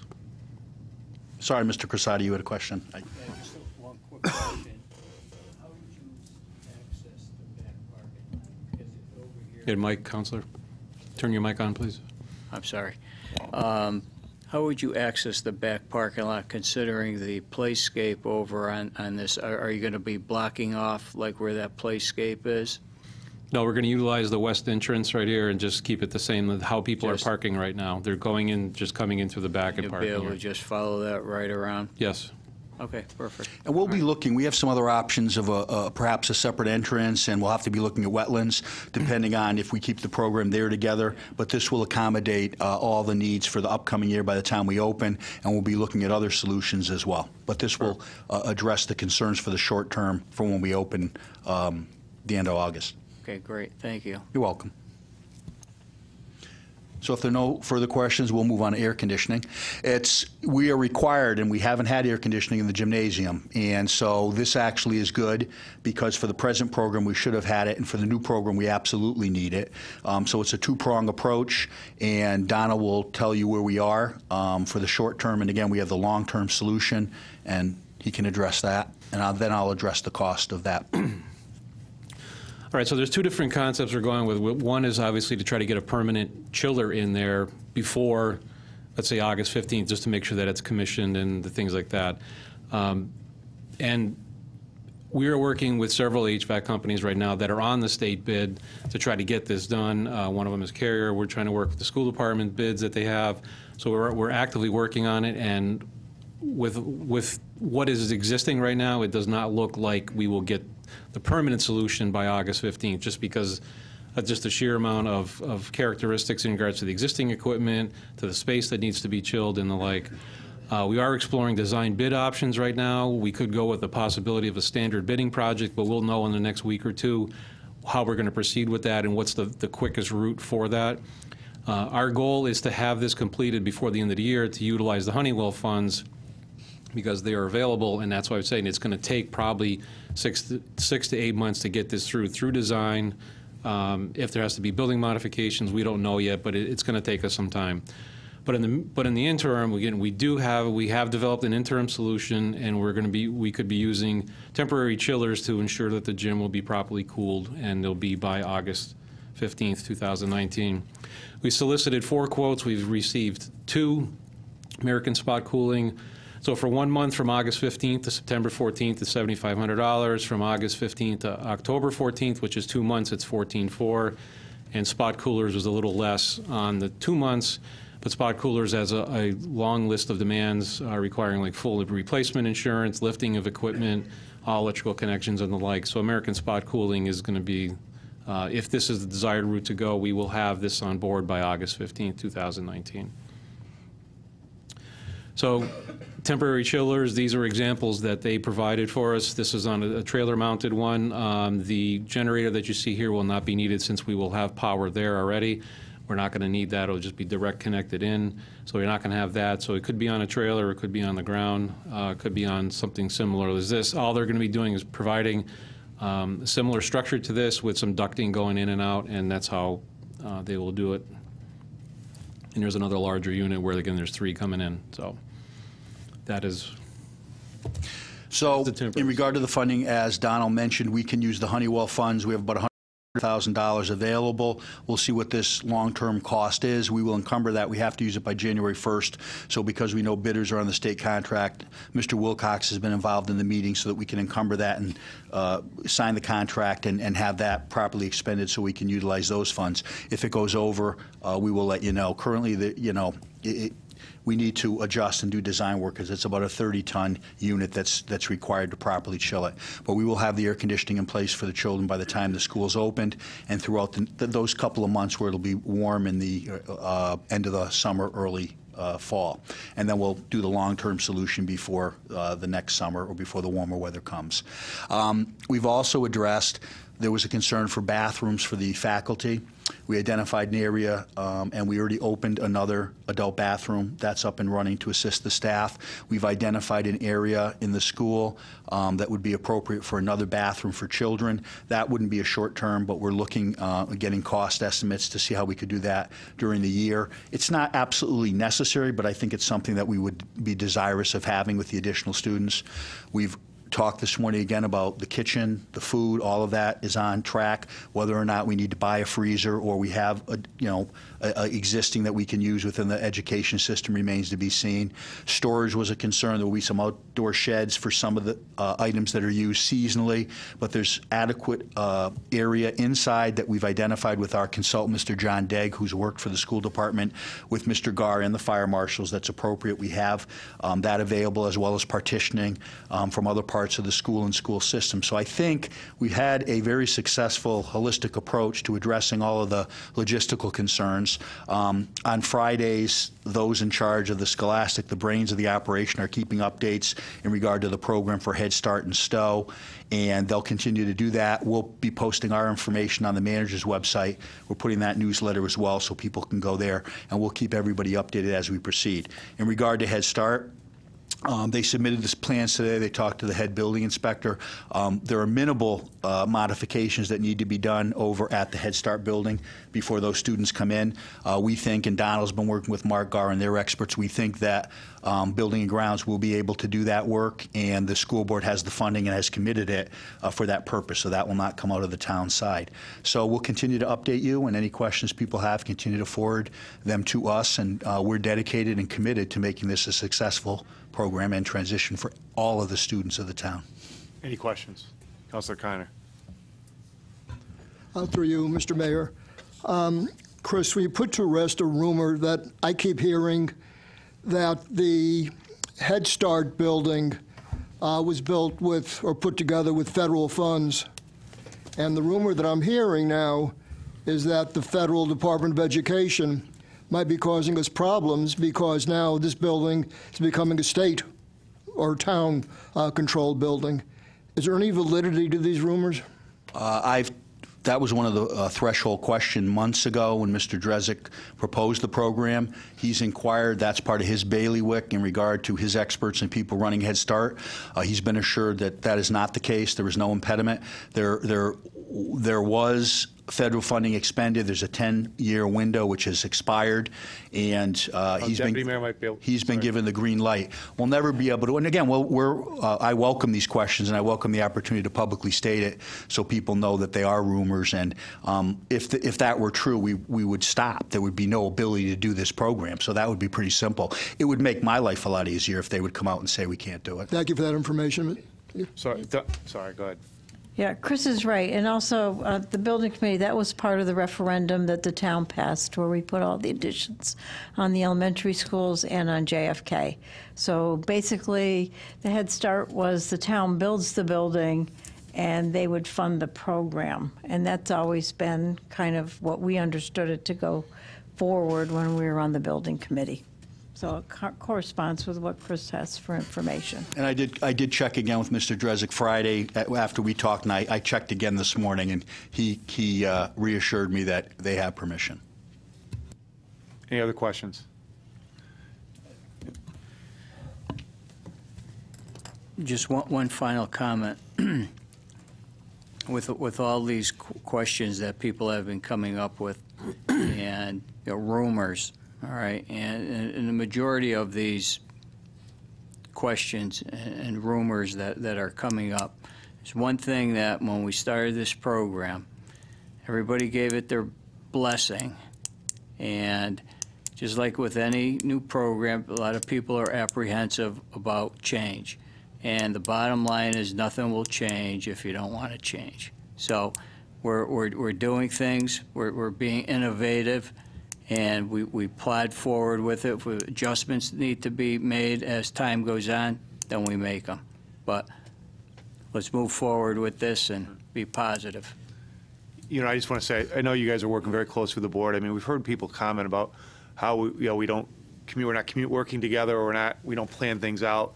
Here we are, two or three years ahead of the curve, doing this between a joint board and council uh, initiative. Uh, To Bob's point, we were all a- everyone was briefed, every member of the board, every member of the council for six months. So this wasn't something that was just sprung out of the air. Three or four years from now, maybe not that long, you know, when, when regionalization is forced upon some of our school systems, and maybe at some point we would have lost control of Head Start and lost control of, you know, providing quality special education and being a leader as opposed to someone who has to now send funds to other towns to, to, to fund our kids. You're talking, again, the check right now to CREC is 1.6 million on average. That comes directly out of the people's local taxes, comes directly out of your taxes. The money doesn't follow the child. And here we are, again, looking ahead, saying, look, we need to start this. This is an innovative program. It's going to provide a great program for our kids. We're working together with the council and the board every single week. Years prior, I think Councilman Bosco's made these points for many years when we didn't really even talk to each other in the past. We work to, we meet weekly. There's, to Bob's point, there's bumps in the road. The hardest part about any plan is implementation. That's the hardest part of any plan. And I appreciate the fact that you folks are listening. I mean, you heard that the parking came out of a meeting, a joint meeting with the board about two months ago. And here you are already addressing it. We do listen.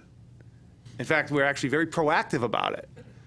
And yet you still, and it comes with the territory, you get the criticism. However, we are looking three years down the road right now. We're not looking about exactly right now. Three years down the road now, if we don't do this, our local budget, even more so, will be under pressure to be able to maintain our services at a very reasonable tax rate. That's what this is about, and it's about bringing kids home who are unfortunately are bused all over the state, who deserve to have their education in this town.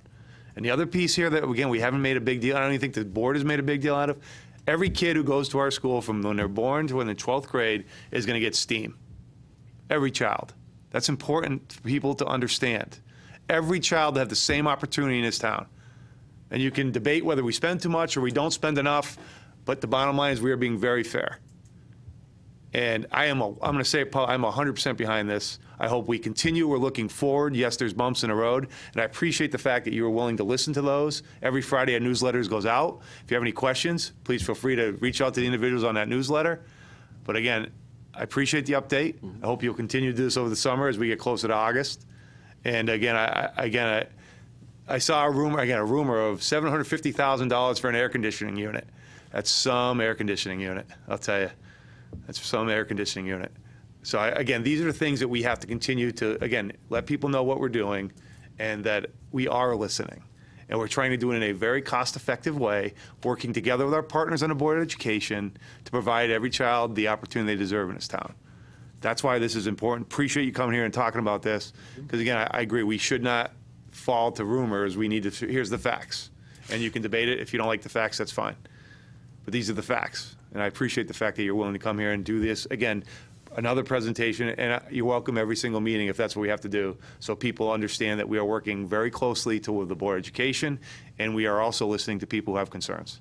So you're welcome. This could be a standing meeting for Donald if he chooses to come for the rest of the summer. We're- Because I don't want anyone to, I, we're not, we are, I don't want anyone to think that we're afraid of answering these questions, because we are not afraid of it. No. In fact, we are on the front foot, because this is innovative, and it's going to benefit not only the town, but our children. And that's what matters here. So you're welcome, and my, I'll say it publicly, you're welcome to come as a special guest for the rest of the summer till September. I don't think you should threaten him with that for his summer vacation. Well, Um, if he, he may be in a good mood in about two weeks, so he should be able to, he should be the able to, he should be able to come. No, as I, t- we're going to be meeting right up until the time the program opens successfully in the fall. We meet every Monday on the logistics, the, the, the joint team, and every Friday they meet at Stowe and Head Start for the scholastic portion of it. And I have to tell you, there's enthusiasm, optimism. We, when we started this, I mean, we really couldn't have done it if we started now. This was started almost a year ago when the when the superintendent had this idea with his people and started to put the wheels in motion. So to that degree, you're right, Mr. Mayor. We are ahead of it, and we're working very hard. We'll continue to meet as often as it takes. We meet every week twice, but we talk almost every day. And we'll continue to chase these down till we have good um, solutions and that we enhance the program. And I just want to say, from the academic experts and people who are in early childhood development and in the school system, it was always a desire and a recommendation of the state to have all of these these children under the same roof. So that's now what we're going to hopefully accomplish in the fall. So thank you for your attention. Thank you, Thank you, Donald. sir. And good luck. uh, One last thing. uh, Are you going to make it out of here in time? Uh, was it, are you going to make it out of here in time? When's again? uh, Can we keep him for longer? 8 o'clock.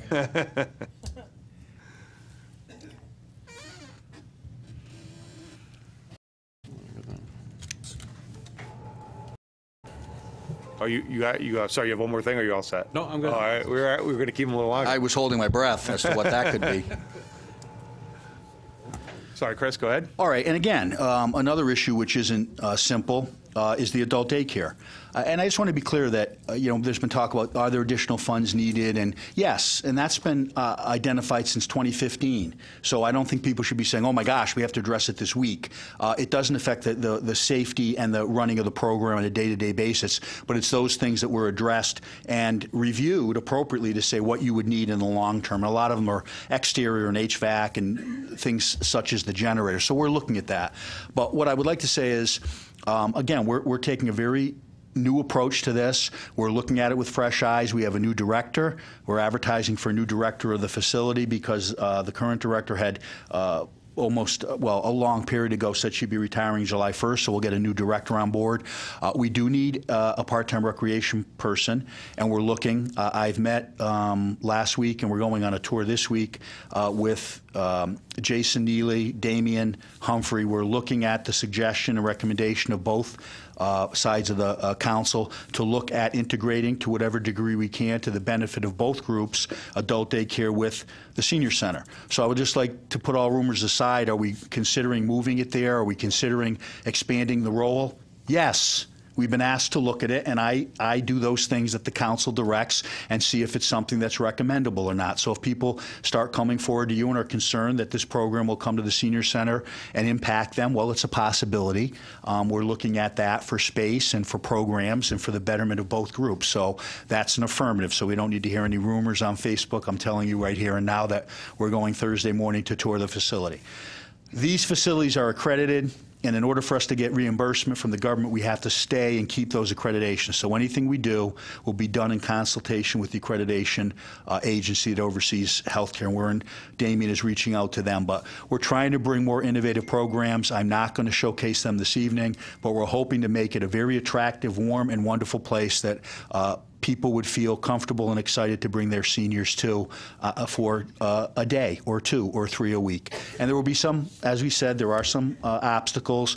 Won't get into them now. We're trying to focus on the positive, but uh, we will know shortly those things that we can accomplish at zero cost and those things that we need to come and find some uh, financing for. But we're going to give it our best try. We have a lot of good people. I think it's an exciting opportunity. It's such a wonderful cause. It's something you feel good about at the end of the day to be able to provide this service and people look at it like they have in the past and revere it and talk about it. And that's why I think people have fought to keep it so long because it was such a marvelous program. So we'll do our best to try to reinvigorate it and make it the best that we can. And we'll keep you posted from week to week, but we're working on it. Any questions? Moving on to the town attorney report. Good evening, Mr. Mayor and Town Council. I just wanted to update you since I had mentioned uh, in, during our May meetings that we were having FOI training for staff, and we've completed that. We had two sessions. There were about 50 employees total. And in, during the second session, Tom Hennick, who is the Public Information Officer for the Freedom of Information Commission, joined me in doing the training. And he mentioned that if you would like additional training in the fall, he's happy to come back. We have had training for boards and commissions typically at night, uh, which focuses on the meetings, and he suggested possibly in the fall we could do something joint again. So I thought that that was very positive, and it was good to have probably, as I said, about 50 employees all totaled. And that's all I have. Any questions for the town attorney? Maria, I just have one question, and this is on the Maple Road on the border of Enfield and Longmeadow. Can we, I, I know Deb's been working on it with, our- with Donald. I- I'd like a legal opinion on who should be taking care of that road. I know we try to be a good neighbor, we've reached out, Is this And something that's come up before? Because it it's not and I- ringing a bell for me. I don't know, well, Okay, yeah. okay. I want us a legal opinion, because, again, here it is, we talked about this three months ago, and I, and my understanding, they were already supposed to fix, it, or at least make the road passable.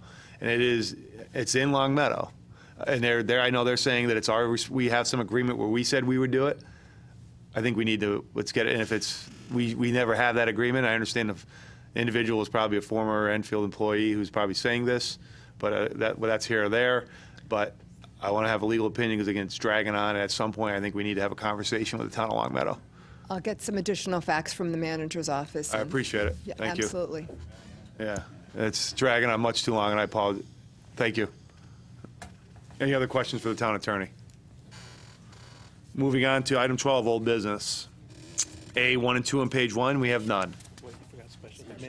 Oh, sorry. Number 11, uh, uh, report of special committees of the council. Councilor Muller? I have a special update for JFK Building Committee. The RFQ for the construction manager at risk is out. Uh, The closing date is Wednesday, June 12th. There's some other important dates. There's a mandatory walkthrough Thursday, June 20th. The interview and selection committee will meet Saturday, July 13th. And we'll select the construction manager at risk on Wednesday, July 17th. Thank you. Councilor Angara? Oh, okay. There was a collaboration with the Enfield Rotary Club and Enfield High School.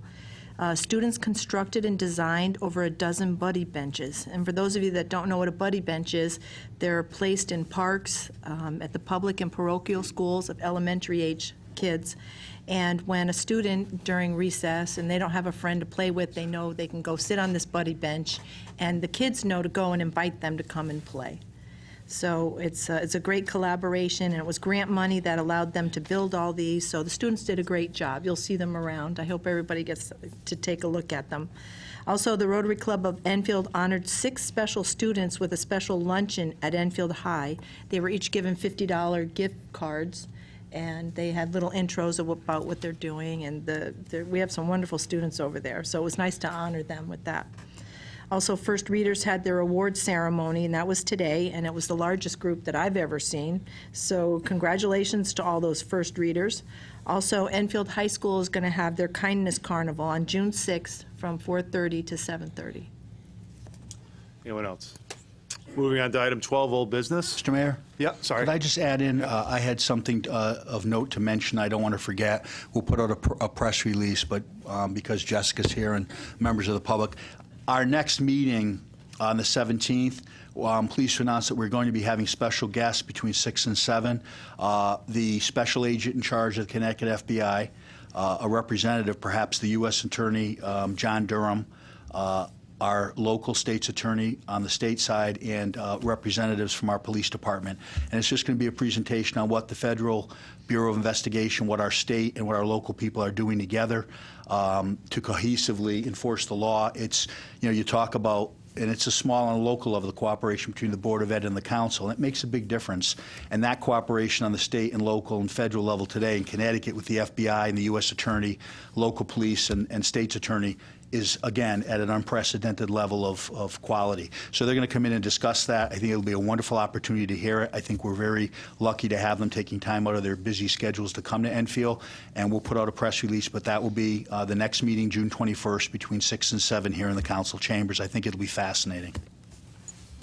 So, uh, so it's a special, I guess this is a special committee, but the, the June, someone asked about the June 12th um, public hearing. Oh, yes, So I think it is Mr. on our Young did. website. The picture was actually put on the patch. Yep. And I think it's very important for everyone who can make the meeting to go.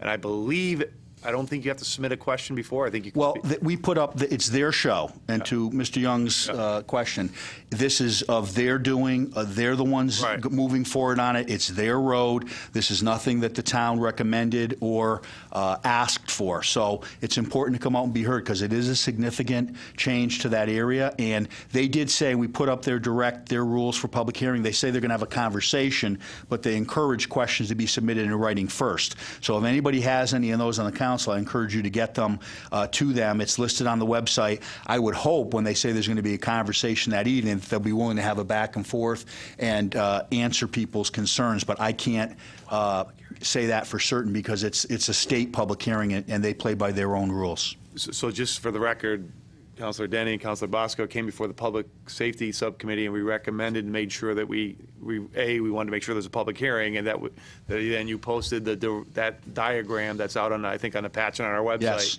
And I think if anyone's ever driven on roads that have those, I don't want to use the word, I hate to use this term, it's called suicide lanes. Those things are, those are tough. I mean, it's tough to navigate, and I think it's important for people to be there on the 12th. Yeah.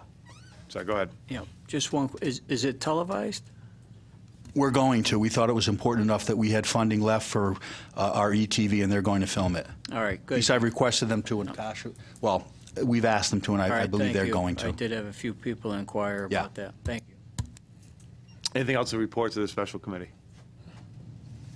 Okay, moving on to item 12, old business, items A, 1, and 2. On page 1, there are none. Top of page 2, items 3 through 15, there are none. Top of page 3, 16 through 18, again, there are none, no appointments. Item B, appointments by the town manager, 1 through 11 on page 3, there are none. Top of page 4, items 12, 13, and 14, there are none. There, are- on item C, under old business, planning zoning commission appointed, council approve, again, none. Item D, nutmeg solar stays on the table. Is there anything left to discuss? I mean, it's something, I mean, should we remove it and take it off the, the agenda? It's all over but the building, so. Right, pretty much. I mean, the But- appeal period goes until June 10th, but I I don't was- think there's anything I meaningful. was, so anyone have an issue to remove item D from old business? To remove from the agenda? Do I have a motion? By Councilor Denny, seconded by Deputy Mayor Suzak. So this is simply to, all all those in favor of removing from the table? Nine in favor, zero against, and this simply is just to remove from the agenda, since we know the deal is pretty much done, and I don't, other than when they to start construction. If there are any issues that, uh, that uh, surface, we'll bring it back. Okay. Any other questions on this item? Do we need a roll call or, or show of hands? Yeah. Do I have a motion to remove from the agenda? So moved. By Councilor Muller, seconded by Deputy Mayor Suzak. Any discussion on the motion? Is show of hands okay? By a show of hands, all those in favor for remove from the table? Opposed? We have nine in favor, zero against. It's removed from the agenda. Item E, roo- school roofs. I guess same question. Do we re- really need to keep this on the agenda? Deputy Mayor Suzak. I'd like to leave it on the agenda just in case we have a issue that comes up at a different school. Right now, we're looking at the Eli Whitney and the Hazardville Memorial, but things change, and I think that we need to have someplace and Okay, fair enough. Everyone okay with that? We'll leave it on the table. Moving to item 13, new business. There is the A, item A, no consent agenda. Again, no appointments. Item B, from the town council. Item C, no town manager, council approved. And D, no P and Z commission appointed, council approved. Item 14, items for discussion. Item A, there are no consent agenda. Items B, um, B, one, two, three, excuse me, one, two, right? Um, Items B, one stays on the table. Items two, three, and four have been moved to miscellaneous. Item five stays on the table. Item C, appointments by the town manager, there are none. Items, sorry, when we get, is that item C, one and two, again, stay on the table. Item D, there's no P and Z commission appointed, council approved. Items E, F, G, H, I, J, K, L, M, N, O, P, all move the miscellaneous. Okay. Pretty good. Item 15, now we move to miscellaneous. Okay, sorry, let me get, just let me bump to that. Where are we? So, under item B, B2, appointment for the Inland Wetlands Water Course Agency. It's a reappointment for um, Donna Corbin Sobinski. Do I have a motion to, a nomination, excuse me? By Councilor Crisati. So you have, I mean, you- so the motion is to reappoint. To motion to reappoint by Councilor Crisati, seconded by Councilor Denny. Do I have a motion to close nomination by Deputy Mayor Suzak? Seconded by Councilor Muller. All those appro- uh, favor of closing nomination by show of hands? Nine in favor, zero against. Roll call, please. Councilor Bosco? Four. Councilor, uh, let's see, Crisati? Four. Councilor Denny? Four. Councilor Kiner. Four. Chairman Ludwig. Four. Councilor Muller. Four. Councilor Sferrazza. Four. Councilor Suzak. Donna Corbin Sabinski. And Councilor Ungary. Four. It's unanimous. Moving on to item B, B3, uh, again, a reappointment for the inland wetlands of Carrie Ann Wagner Ho, How, excuse me. Do we have a nomination to reappoint? Nominate uh, for reappointment uh, Carrie Ann Wagner Howe. By Councilor Denny, seconded by Councilor Crisati. Is there a motion to close nominations? By Deputy Mayor Suzak, seconded by Councilor Sferrazza. All those in favor of closing nominations by show of hands? We have nine in favor, zero against. Any questions on the main motion? Hearing none, roll call, please. Councilor Bosco. Four. Councilor Crissati. Four. Councilor Denny. Four. Councilor Kiner. Four. Chairman Ludwig. Four. Councilor Muller. Four. Councilor Sferrazza. Four. Councilor Suzak. Carrie Ann Wagner Howe. And Councilor Ungary. Four. That's unanimous. Moving on to item B4, another reappointment for the Inland Wetlands Watercourse Agency for the term of Marcy Talicio. Is there a nomination to reappoint? By De- by Councilor Casati, seconded by Councilor Kiner. Is there a motion to close nominations? By Deputy Mayor Suzak. Second. Seconded by Councilor Muller. All those in favor of closing nomination by show of hands? Nine in favor, zero against. Is there any discussion on the main motion? Hearing none, roll call, please. Councilor Bosco. Four. Councilor Crissati. Four. Councilor Denny. Four. Councilor Kiner. Four. Chairman Ludwig. Four. Councilor Muller. Four. Councilor Sferrazza. Four. Councilor Suzak. Marcy Talicio. And Councilor Ungary. Four. It's unanimous. Okay, we move on to item E under miscellaneous. Again, discussion resolution dedicating the Annex Wrestling Center. Whereas, and again, I apologize in advance if I ruin his name, Ben Alex, if I say that correctly? Alex, sorry, devoted 11 years as head coach of the Enrico Fermi wrestling team, helped to shape the lives of many Enfield youth. And whereas Ben compiled a town record of 70.5 winning percentage and guided the Fermi Falcons to a state open runner-up finish in 1987 while producing an All-American along the way. Whereas Ben also induct, was inducted into the Athletic Hall of Fame in 2016, and whereas Ben Alex has continued to promote, to provide support as a volunteer coach for the past 25 years. Now therefore be it resolved, the Enfield Town Council does hereby dedicate the Annex Wrestling Room as Ben Alex Wrestling Center. By Deputy Mayor Suzak, seconded by Councilor Crissati. Any, Councilor Sferrazza. Um, I certainly support this, Mr. Mayor. I just want to make sure, as we had discussed, did the town receive a letter from the governing board of the Athletic Hall of Fame per our policy? Did we receive that letter or email? I believe we, we did receive the letter from the Hall of Fame. Okay. Great, great question. Uh, that was just to make sure we follow our own policy. Great Correct. question. Yeah, I, I made sure of that.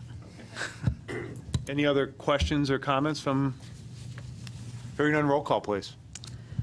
Councilor Bosco. Four. Councilor Crissati. Four. Councilor Denny. Four. Councilor Kiner. Four. Chairman Ludwig. Four. Councilor Muller. Four. Councilor Sferrazza. Four. Councilor Suzak. Four. And Councilor Ungary. Four. Nine in favor, none against. Moving on under miscellaneous to item F, a resolution authorizing the town manager to apply for a grant and enter an agreement with Amplify Inc. Whereas Amplify Inc. provides funding to the Youth Services Division, and whereas Youth Services in a process of, is in the process of submitting a grant application to Amplify Inc. for funds that will be available for, in, a- to the town in the fiscal year 2019, 2020, now there, in the fiscal year 2019 to 2020. Now therefore be it resolved that the town manager, Christopher W. Bromson, is authorized to sign and submit the grant application with Amplify Inc., and be it further resolved that the town manager, Christopher W. Bromson, is authorized to sign an agreement subject to review and approval of the town attorney in a name and on behalf of the town of Enfield with Amplify Inc., submitted on May 23rd, 2019 by Damian Humphrey, the acting director of social services. By Councilor Muller, seconded by Councilor Crissati. I don't know if any, just No, uh, the acting director is here if there are any questions. It's a two, two-year grant, and it's for the Well, areas Just brief illuminated. overview so people understand why we're pl- for applying for the grant, Damien, you don't mind? Sure. Two seconds? I mean, I, I like, when you sit in the audience, I like to make sure you get a chance to speak on behalf of the program. Good evening. My name is. Damian Humphrey, Acting Director of Social Services for the Town of Enfield. And uh, this grant is to provide uh, staff with the ability to inform the public um, on uh, safe uh, practices surrounding uh, the negative effects of substance abuse. So it's a grant that we've applied to before. Uh, There's no cost to the municipality, and uh, it helps us to inform our youth and our community on the dangers of substance abuse. Any questions for Damien? Thank you, sir. I want to make sure, as you, you know, you're sitting, that you at least got a chance to explain. the Thank you. He'll stay because he has the next All right, so you grant, can, you can sit, and, uh, any, so no further, here, no further comments? Roll call, please. Councilor Bosco? Four. Councilor Crissati? Four. Councilor Denny? Four. Councilor Kiner? Four.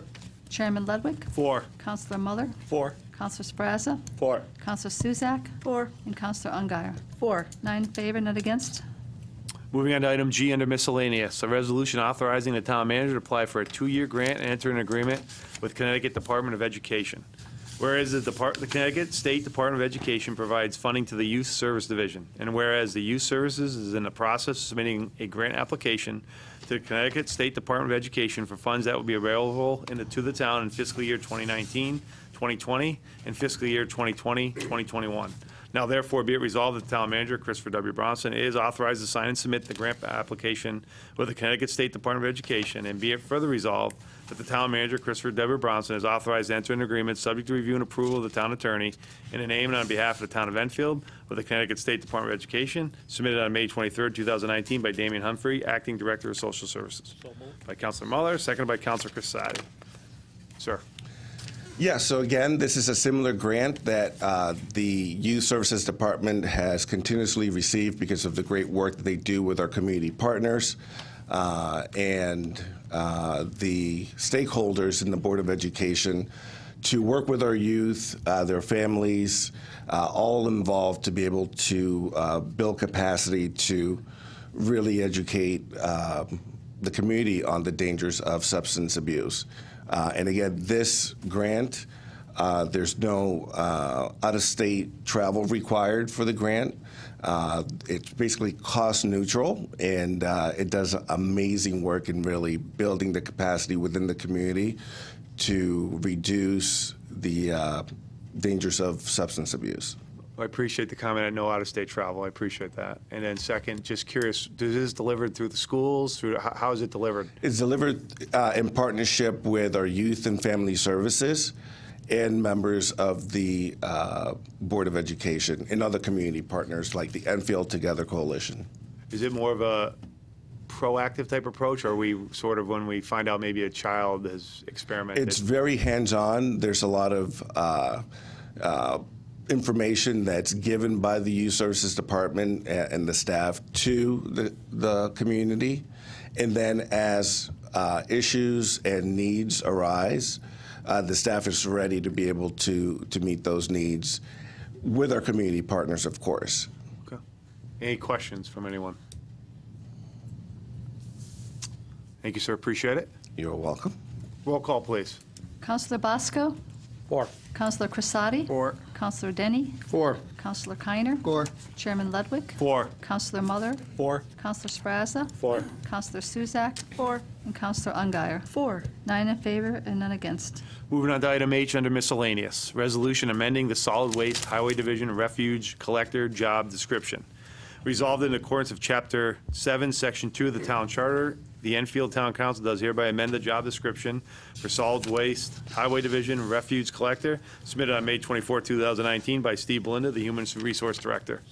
By Councilor Muller. Second. Seconded by Deputy Mayor Suzak. I know this is just a continuation of some of the reorg that we've been doing, Chris. Do we, we already posted for this job, correct? Uh, That's the next one. Okay. This is, this one is not. This is going to change and actually increase the responsibilities of the position. All right, got it. Any questions? Councilor Kiner. Yeah, thank you, Mr. Mayor, through you to uh, the the town manager, or maybe Don. Uh, This position of refuse collector uh, is a position that's subject to our collective bargaining laws, I I presume. Mr. Belinda is here as well to answer that. Council, it's a, it's a pre-existing condition, um, condition, position, um, in, in our. You're looking ahead to watching the game? That's what Yeah, the it's- pre-edition condition is? I'm gonna have a pre, they're already down one, nothing as it is, so. um, It is a pre-existing position that's here now. What we're trying to do is create more flexibility, because right now, when that person is working on, um, our, when that, when that person's on our, they can only be on RRM right now. So what we're asking to do is have RRM and Highway Division. So when they're not on the back of a truck on a Tuesday, we have to kind of find work for them to laboring work to do. Now we can move them right to Highway and have them go do other things that we need them to do. So this is purely a flexible thing, and Steve will answer more towards the bargaining unit. This was negotiated with the union, so they have endorsed it. That was my question, basically, Steve. I'm sorry. Uh, That was my question, basically, to- to find out how the process works and see if the union uh, just signed off on it. You just answered that, and that's, I'm fine with that. Thank you. You know, just, we, they couldn't present this bill if we actually, they actually didn't have the conversation with the union beforehand. So they wouldn't even got to us if the union didn't sign off on it, just so you know. So it wouldn't even, it wouldn't even came before us if the union didn't agree to this. We got to understand the new guy on the No, no, council. no, just edification. And also, just since, again, for the new folks, we actually, over the last year and a half, across the entire town government, we've done this, where we've given flexibility for the departments to have, again, to have, if someone maybe in a seasonal job can do something else, we've done this across every department, I think, in the town side. This is just a continuation of all the reorganization we've done across every single department that the town has. So I just, again, this has been a consistent, you know, um, approach. You know, Steve, I don't want to speak for you, but really, this has been over the last year and a half, we've done this. I don't know if you Yeah, that, that's a continuing theme. We have to wear many hats nowadays, and we, we don't want to get into the, well, that's not my job description, because when it's all said and done, it's in a lot Again, of job in- in descriptions. accordance with people wanting us to spend their tax dollars as efficiently as we possibly can, getting the most bang for the buck. Councilor Sferra- Sferrazza. Um, Steve, the union signed off on it. Yes. Um, They didn't have to sign off on it. No. And they didn't ask for more money. No, they did not. So you know what? When our employees step up to do something like this to help us out, whether it's taking zero increase raises or agreeing more duties without more compensation, they need to be recognized and thanked. And I certainly appreciate their efforts. And I will echo that to the union membership. Well said, sir. Anyone else have any questions or comments? Thank you, gentlemen. Appreciate it. Roll call, please. Councilor Bosco? Four. Councilor Crisati? Four. Councilor Denny? Four. Councilor Kiner? Four. Chairman Ludwig? Four. Councilor Muller? Four. Councilor Sferrazza? Four. Councilor Suzak? Four. Councilor Ungary? Four. Nine in favor, none against. Moving under item I, I know you gentlemen will stay there. Under miscellaneous, resolution adopting the Deputy Director Operations job description. Resolved in accordance with Chapter 7, Section 2 of the Town Charter, the Enfield Town Council does hereby adopt the job description for Deputy Director of Operations, submitted on May 24th, 2019 by Steve Belinda, the Human Resource Director. By Councilor Muller, seconded by Councilor Crisati. I think this is, this is sort of, the right, the Novak report. So if you guys would like to comment, I think it's important for people to understand. Go ahead. Um, I started drafting this job description, taking um, uh, pieces of information right out of the Novak study, and then I worked closely with uh, Donald as he started gathering other uh, similar type uh, job descriptions from other facilities and, and employers, and we, together we uh, pieced together this job description. I think that hits exactly what we're all looking for here, and it's out there now, and we're starting to get applications for it, and we're scrutinizing the resumes. I wish, Mr. Mayor, that Jack Sheridan was here because I think in the past, one of his uh, regrets is, or his concerns was the council didn't listen to the consultants we hired to make recommendations to us. And I think we've done an incredible job of implementing the Novak report. Uh, it was money well spent. We've implemented many of the recommendations. This is one of the key ones. And again, just so everyone knows, with the commitment and the dollars we're spending for the high school, for the JFK, for the water pollution control, it is essential that we have a person of this caliber and experience who has oversight over our physical plant community of all of our buildings so that we make sure that they're being maintained, repaired, and that we have a schedule to do so so that we don't make these investments and then in a couple years uh, we're, we're, spending money on damages because we didn't look after uh, the care and maintenance of our machines and, and the, the infrastructure. So that's the type of person we're looking to do this throughout the town, and it will dovetail very nicely with what Facilities is doing with their consultant to look at all the town buildings, to see what we're keeping, to see what we're jettisoning, and then to really concentrate on maintaining those buildings. And it's part of doing roads and roofs and boilers and chillers, but you don't want to make this uh, investment of tens of millions of dollars on infrastructure and then see it go to waste because we don't have somebody in place to oversee a program to watch it and, and do the proper maintenance and repair of it. So that's, that's what this is about. And I don't know if you gentlemen have any other comments? I can't possibly improve We, on we that. could, we could so- filibuster, we could filibuster for like another half hour. if you like. There's no rule against it in the town. But I, I think in seriousness, though, the, the staff took the Novak report seriously. I know we, I think, talked about that last summer, I believe. Also want to recognize, and again, I, I- I have to admit, I do, I'm not a sensitive individual, but Councilor Denny, Deputy Mayor Suzak, and Councilor Bosco spent, along with your staff, I think, what, the last three meetings? I mean, these are subcommittee meetings where you spent, I think, multiple hours, not just 15, 20 minutes, going over this report, making these recommendations that, again, are hopefully not only make us more efficient, but uh, to some of the comments we had about actually maintaining our infrastructure and actually having a plan to implement that infrastructure. So we're not 20 years down the road saying, how come we haven't done this for the last 20 years? So I think people got to recognize there's a lot of work that does go in that's not here in front of the council meeting that you folks have spent with your staff, you know, and really implementing these plans and these changes that are going to move the town forward and address a lot of the issues that we keep hearing that we haven't addressed over the last maybe 25 years. And also, I think this is important to tie in the earlier discussion on the water pollution control, the enhancement and upgrades, and the cost and why we're putting money aside. The Novak report recommended an additional five to six people to be hired in the water pollution control at a cost of five to six hundred thousand dollars a year. We delayed it in order that we bring on the new superintendent and he can make an assessment with the director of public works. But that is a cost that is coming, and it's money we have to spend. I remember when we did a few months back. Um, we had the uh, presentation on the sewer use fee, and we had a gentleman who's a town resident who works in a neighboring community that just upgraded their plant, and he lamented that they didn't put the money and resources and staff to properly uh, run it or maintain it, and already he's seeing the cost increases in repairs because of that short-sightedness. So again, we will hope to look at the Novak report and implement it uh, when we're ready after the new superintendent can assess and make his recommendation for next year. But again, those monies are going to be needed, and that's a half a million dollars a year. Any questions or comments from anyone? Gentlemen, anything else? Nope. Roll call, please. Thank you. Councilor Bosco? Four. Councilor Crissati? Four. Councilor Denny? Four. Councilor Kiner? Four. Chairman Ludwig? Four. Councilor Muller? Four. Councilor Sferrazza? Four. Councilor Suzak? Four. And Councilor Ungary. Four. Nine in favor, none against. Moving on to item J under miscellaneous, resolution authorizing the town manager, manager or his designee to sign a contract with Operation Fu- Fuel.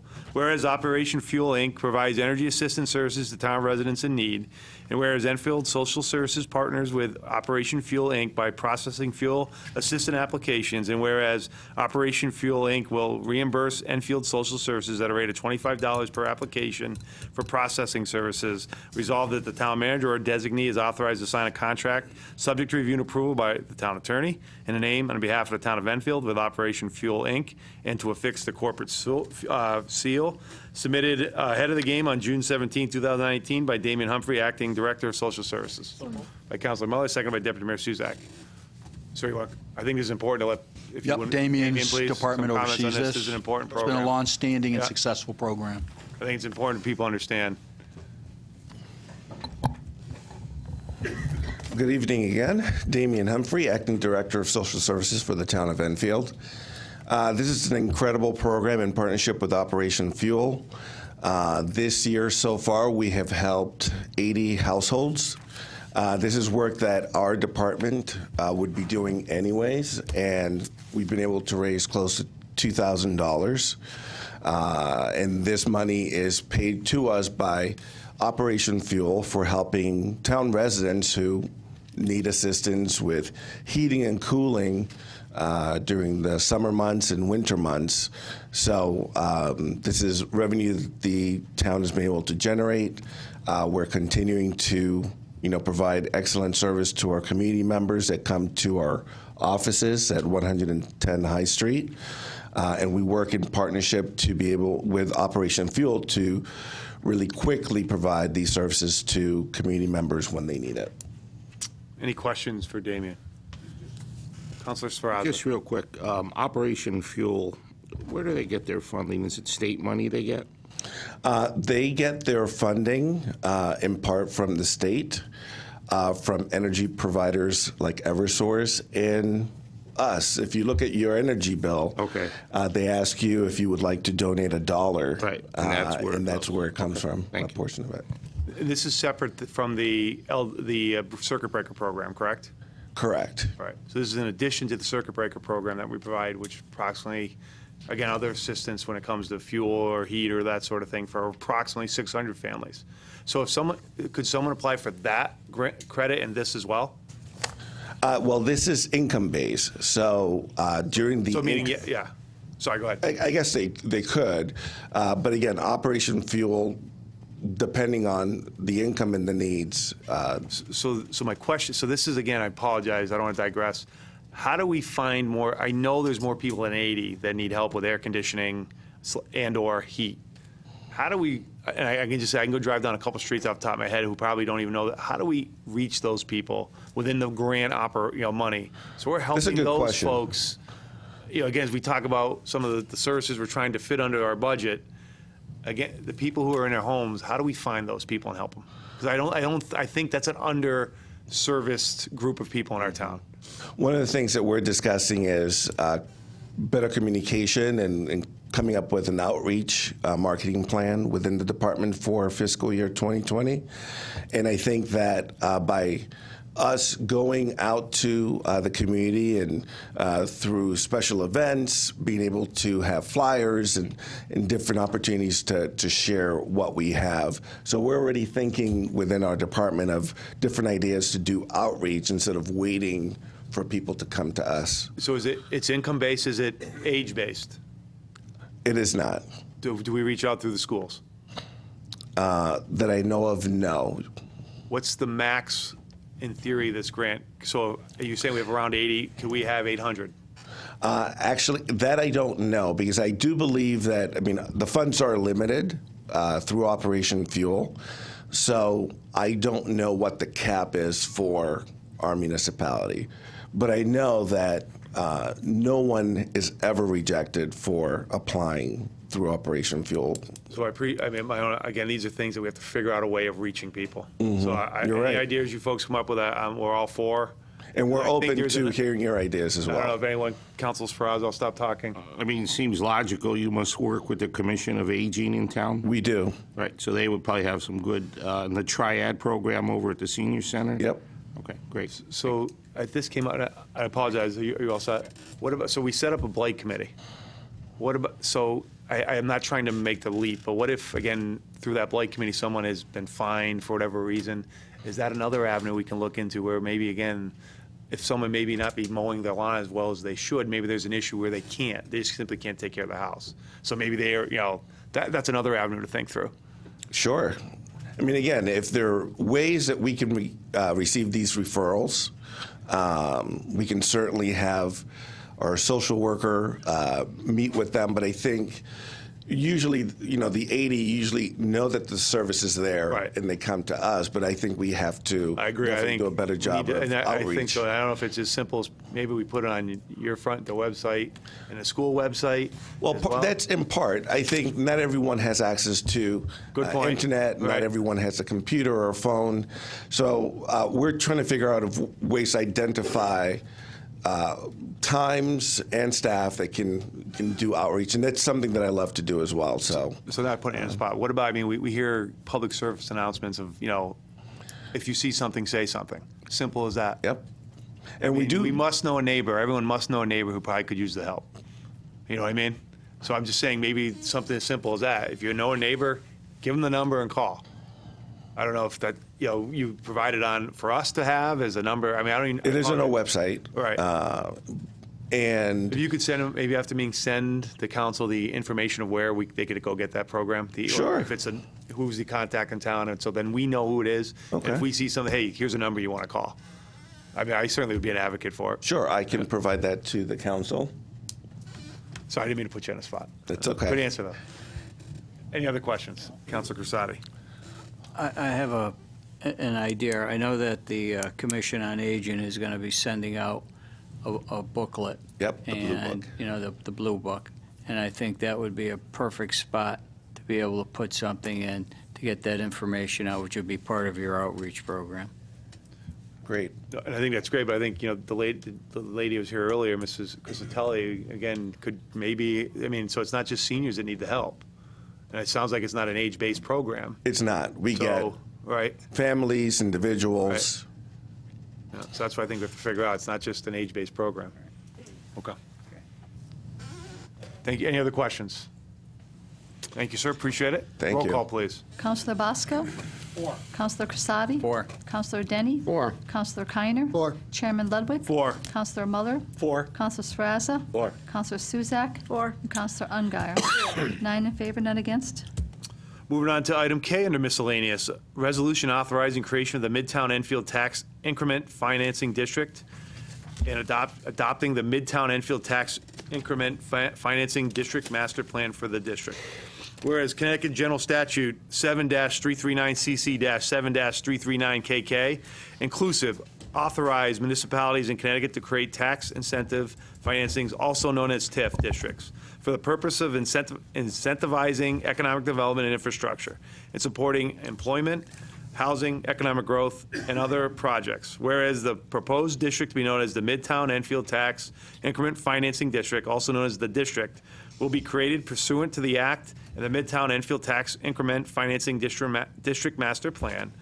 Attached hereinto as Exhibit A, the, di- again, also known as the District Master Plan, which details the creation, structure, development, financing, operation, and maintenance of the district. And whereas pursuant to the District Master Plan, the town of Enfield, also known as the town, will capture 50% of the future increased assessed property values within the, the district for an anticipated term of 20 years and utilize up to 100% of the real property tax revenues generated from such increased property values, along with private funds to fund infrastructure improvements, economic development programs, traffic and road improvements, streetscaping, branding, and administrative costs. And whereas the town is in need of economic development and infrastructure improvements in the Midtown Enfield area, and whereas there is a need to provide continuing employment opportunities for the citizens of Enfield and the surrounding region to improve the broader, to, to improve and broaden the tax base in the town, and to improve the economy of the town and the state of Connecticut. Whereas a portion of the real property within a district, in the proposed district, is one, in a substandard, unsanitary, deteriorated, deteriorating or blighted area. Two, in need of rehabilitation, redevelopment, or conservation work. Three, suitable for industrial, commercial, residential, mixed use, or rental uses, downtown development or transit-oriented development. And whereas, as shown in Ex- Exhibit B of the district master plan, the original assessed value of the taxable property within the district does not exceed 10% of the total value of taxable property within the town as of October 1, 2018. And whereas the creation of the district will help to provide continued employment for the citizens of the town, the surrounding region, to improve and broaden the tax base in the town, and to contribute to the economic growth and well-being of the town and the state of Connecticut. What is two-pager? Whereas the establishment of the district would not be in conflict, I didn't realize that, in the town charter, and whereas the established district would not be in conflict with the town charter, and whereas the district master plan was transmitted to, in a study of the district master plan and a written advisory opinion was required by the act as requested from the town planning and zoning commission at least 90 days prior to the author- authorization and the establishment of the district. Whereas the town council has had a public hearing on the proposal to establish the district in accordance with the requirements of the act, with at least 10 days prior notice published in the newspaper of general circulation within the town. Whereas the town council has considered the comments provided at the public hearing both for and against the district. Now therefore be it resolved, the Enfield Town Council hereby authorizes the creation of the Midtown Enfield Tax Increment Financing District, the boundaries of which are included in the district master plan. Be it further resolved, the Enfield Town Council adopts the Midtown Enfield Tax Increment Fund Financing District Master Plan attached hereto as Exhibit A, and not- be it further resolved, the Enfield Town Council hereby authorizes that 50% of the future in- increased assessed property values within the district shall be retained as captured assessed value in accordance with the district master plan and up to 100% of the real property tax revenues generated. For such cap, captured assessed value may be, u- for such cap, captured assessed value may be used to fund the various costs and improvements set forth in the district master plan submitted by Lori Witten, Director of Development Services, on May 28, 2019. By Councilor Muller, by Councilor, second by Councilor Denny. I'm ready to retire. Folks have the floor. Um, I think I said it all, so I'm not sure what's left. Yeah, there's not much more to add there. Um, Just uh, as a quick brief, Uh, The way this works is for the general public is, uh, right now, let's say a, a, a, a parcel has the assessed value of $100, okay, and it gets taxed on that. So that gets basically frozen, and as there's some capital improvement on that, there's increased assessed value, and half of that would go back to the, the um, general fund, and then the other half would go back to the master plan TIF area. So it's just, that's the real basics of it. Any So- questions? Uh, I mean, I know it's been, I think, a couple months. This was sent to the P and Z in March. So any questions? Councilor Kiner. Thank you, Mr. Mayor. Uh, I plan on supporting this resolution, uh, but just, just a comment. Um, I think it's fair to say that there might very well be some blighted areas uh, within the TIF district uh, that the government would go, would allow for condemnation through eminent domain, um, which is, to us, is a very sensitive subject, obviously. Um, My concern is that if we look at Kelo in uh, New London, uh, th- that was in a TIF district. Yep. And I'm just wondering, is there anything within, you know, I understand the general idea of, of TIF. I don't know all the intricacies of, of it, though. Uh, Is there anything within a, a a TIF uh, district that would allow for easier uh, condemnation and taking homes by eminent domain? Or is Kelo just a, um, uh, just an oddball type of thing that just, just happened, just, just a coincidence? I'll answer that. We have no intention of invoking eminent domain to uh, utilize our uh, TIF. Uh, As you said, that's a one-off. Kelo was a unique circumstance. We want developers to come in and to want to uh, invest and enhance the district, and we'll use the proceeds in the proportion that um, the director said. But we have no, there's never been a discussion or even a mention of condemnation in connection with our implementation of the TIF, and it's something that I think would be extraordinarily remote, if not something we would never do. It's never been discussed. It's not part of our plan or our policy. The, the, the funds will be used through um, the, the use of the advisory council. So there's going to be a TIF advisory board, rather, and then they advise the town council as to how to I- recommend. I I think that's really what I wanted to hear. Yeah. And just Kelo was an anomaly that had happened in a in a TIF district. Thank you. Yes. All set? Councilor Bosco. Bill, no matter what, you'd have to vote for it. So if it- they're going to condemn something or, or take it eminent domain, we would have to, we would have to say yes or no, just like we did the other night. So we're the protection not, uh, for the people in the town. Um, You know, from what I understand, this has been a goal since 2003. And, um, you know, it's just, sometimes, you know, even with like the, uh, the daycare, you, you have to do things, and th- some things may have the little dips, and then you're gonna have the ups, but eventually, if you don't try something, you'll never get nowhere. And uh, all the poking at this, and, I mean, it's been on the agenda since I got on in 2007, and it's finally coming, so hopefully it works. If it don't, we'll know soon enough, but, you know, I mean, I, I think it, you know, it looks promising, so I don't see where it's gonna hurt either. Thank you. All set?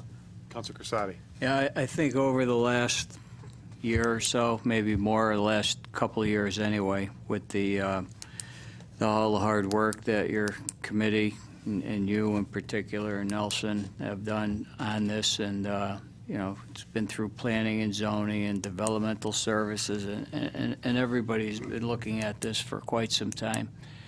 This is a good piece of work. And uh, I think, uh, you know, as, as a town, we should be very proud of, uh, of this accomplishment that we passed here tonight. Very promising. And also, uh, Nelson Tereso, Deputy Director of Economic and Community Development. I also like to acknowledge our Economic Development Commission. They did a great job in uh, reviewing the policy and the, um, uh, this master plan, so I'd like to acknowledge them tonight as well.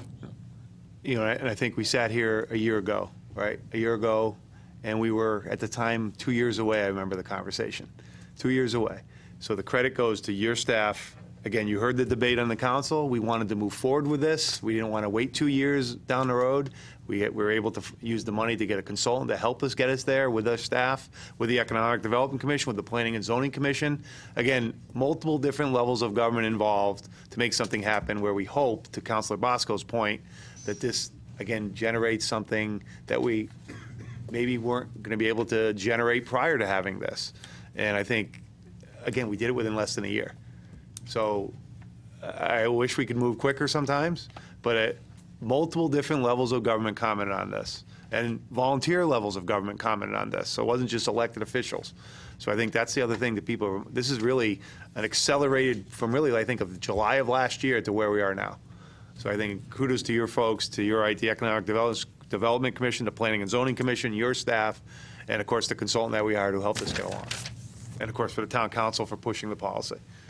So thank you. Uh, Any other comments or questions? Thank you, folks. Roll call, please. Councilman Bosco? Four. Councilman Crisati? Four. Councilman Denny? Four. Councilman Kiner? Four. Chairman Ludwig? Four. Councilman Muller? Four. Councilman Sferrazza? Four. Councilman Suzak? Four. And Councilman Ungary. Four. We have nine in favor, none against. Moving on to item L under miscellaneous, adopting the town of Enfield tax increment financing policy. Be it resolved, the Enfield Town Council does hereby adopt the town of Enfield tax increment financing policy dated June 2019, submitted on May 30th, 2019 by Lori Witten, Director of Development Services. By Councilor Muller, seconded by Councilor Crisati. I don't know, other than, as anyone has any other comments they didn't get prior? I think we're good. Roll call, please. Councilor Bosco? Four. Councilor Crisati? Four. Councilor Denny? Four. Councilor Kiner? Four. Chairman Ludwig? Four. Councilor Muller? Four. Councilor Sferrazza? Four. Councilor Suzak? Four. And Councilor Ungary. Four. Nine in favor, none against. Thank you, folks. Appreciate it. Well done. Moving on to item N, under- excuse me, item M, under miscellaneous. Resolution authorizing the town manager to sign the amendment to, amendment to agreement with the Hazardville Institute Conserva- Con- Cons- Conservancy Society, Inc., and I apologize for ruining Conservancy. Whereas the Hazardville Institute Conservancy Society, Inc., and the town of Enfield fully executed an agreement on May 2nd, 2017, regarding the town's 300,000 appropriation funds for the Hazardville Institute Rehabilitation Project. Whereas paragraph 8, subparagraph A of the agreement provided the, that the Conservancy shall complete all work and set, set, as set forth in the plan no later than two years after the execution of this agreement. And whereas paragraph eight, subparagraph D of the agreement provides that in the re- event of unforeseen events resulting in the delay of the project, the parties hereto may be, by written agree- amendment to this agreement, extend the time for completion of the project. Now therefore be it resolved, the Enfield County Council authorizes the town manager to sign the amendment to the agreement with the Hazardville Institute Conservans- Conservancy Society, Inc., subject to review and approval of the town attorney, submitted by Nelson Teriso, Deputy Deputy Director of Economic Community Development, on May 9, 2019. By Councilor Muller, seconded by Deputy Mayor Szewczak. Sir. Good evening. Uh, When I first got on board here in town, uh, Chris asked me to reach out to the uh, Conservancy folks, and uh, I had to set up a meeting with them. Um, Most of them are here in attendance tonight, Rich, Gretchen, and Bill, uh, regarding this uh, project. And um, when I first met with them, uh, this, this building is in the heart of Hazardville. It's in the, uh, it's a National Register district. It's a contributing resource. So I spoke to them about uh, state, state uh, programs to assist in the final phase of their project.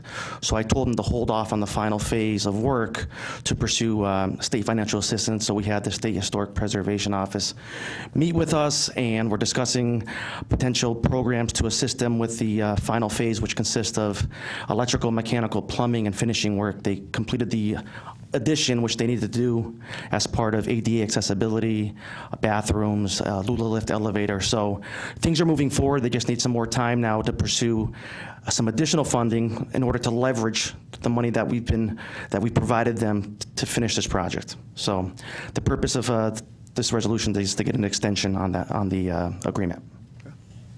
Any questions or comments? Deputy Mayor Szewczak. I'm going to vote in favor of it. I, you know, as far as I, I, family members of mine have been involved for at least a decade on this, and there's been people who have been involved 40 years, and I know this is a really close knit um, uh, conservancy of their members. And I, I can't tell you the sorrow that this, these people have when a member that's been working on this for 30 or 40 years passes.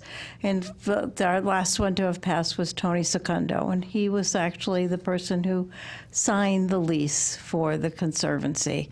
So it's it's just a matter of it would be really nice to see a historic building open back up while some of the members that have worked for a long time can see this. Thank you.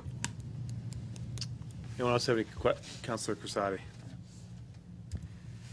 The, uh, it says $142,000 is going to be needed to finalize the final phase of this. 142,000 is what's left in the, uh, in, in the grant, the town, town funding, out of the 300.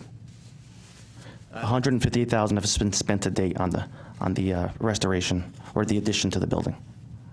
So this, this, all of this money is going to be used for the, The remaining 142,000 is going to be used towards the final phase, which is the interior uh, utility work that needs to be done, the electrical, the plumbing, uh, and the, uh, you know, the utility work and the actual, f- the finishes in the building itself, within the building. so no other money is going to be needed? Well, that's what we're looking into, in obtaining state uh, historic grant funding to match the town money, because there's a shortfall to finish this. So we need additional subsidy from the state. And there's, since this isn't a, it's a national, it's in the National Register of Historic Places, it's a contributing resource, it's eligible for this money, so there's money readily available. Have we applied for that money yet? We have met with the state, we've provided them with the plans, and we are ready to pursue an application. Unfortunately, the person in charge of reviewing that program has left her position with the state, and they're trying to fulfill that position, so we're hoping in the next month or so, they refill that position. But we, I I have been in talks with them, but unfortunately, something, it was an unfortunate situation, unforeseen situation. We were ready to submit an application for this, and they need to uh, refill that position in order to take on, take on any new applications. Okay, thank you. Councilor Kiner. Yeah, to follow up on uh, Mr. Crisati's comments, uh, what we're voting on today is simply to grant an extension of two, um, for two more years. Is that right? That is correct. Uh, From your uh, contact with the state, do you see any potential problem with getting this extension? Uh, There's no, the state, this is a local uh, agreement, nothing to do with the state whatsoever. Okay, I'm sorry. Um, The last question then is, uh, assuming that um, all the funds are used, do you have any, and you might have already answered it, and I I just didn't hear it, um, do you have any estimate as to how much it's going to cost beyond the $300,000? I would probably uh, defer to the Conservancy to answer that. I'm not, we're not sure the exact numbers of what the final phase is going to cost until they get the bids in, but um, they've had, uh, they have an, they've had an architect obviously prepare the plans and provide an estimate. They can probably discuss that. Because what this that- council is voting on numbers. is the 300, is, is using the $300,000 from bonding. We're not voting to uh, spend money beyond that 300,000. And I'm just kind of curious as to how much it might cost beyond that 300,000. If there's anyone from the uh, Conservancy that can respond to that, I appreciate that.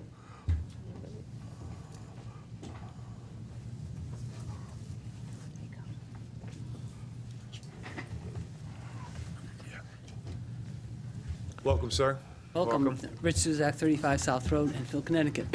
In, in terms of, we, we, I don't have, unfortunately, the performer with me or our estimate with me, but what we're anticipating is that we, we have a shortfall of about, Mike. oh, uh, w- w- what we're, what we anticipate is that we have a shortfall of around $100,000. So what we, $100,000.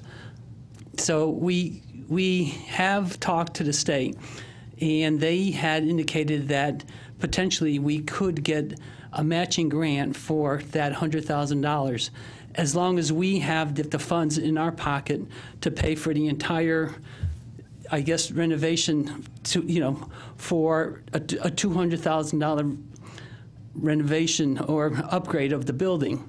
And once we finish that phase of the work, they would refund us $100,000, which would allow us to finish the, the, the last $100,000 that we need.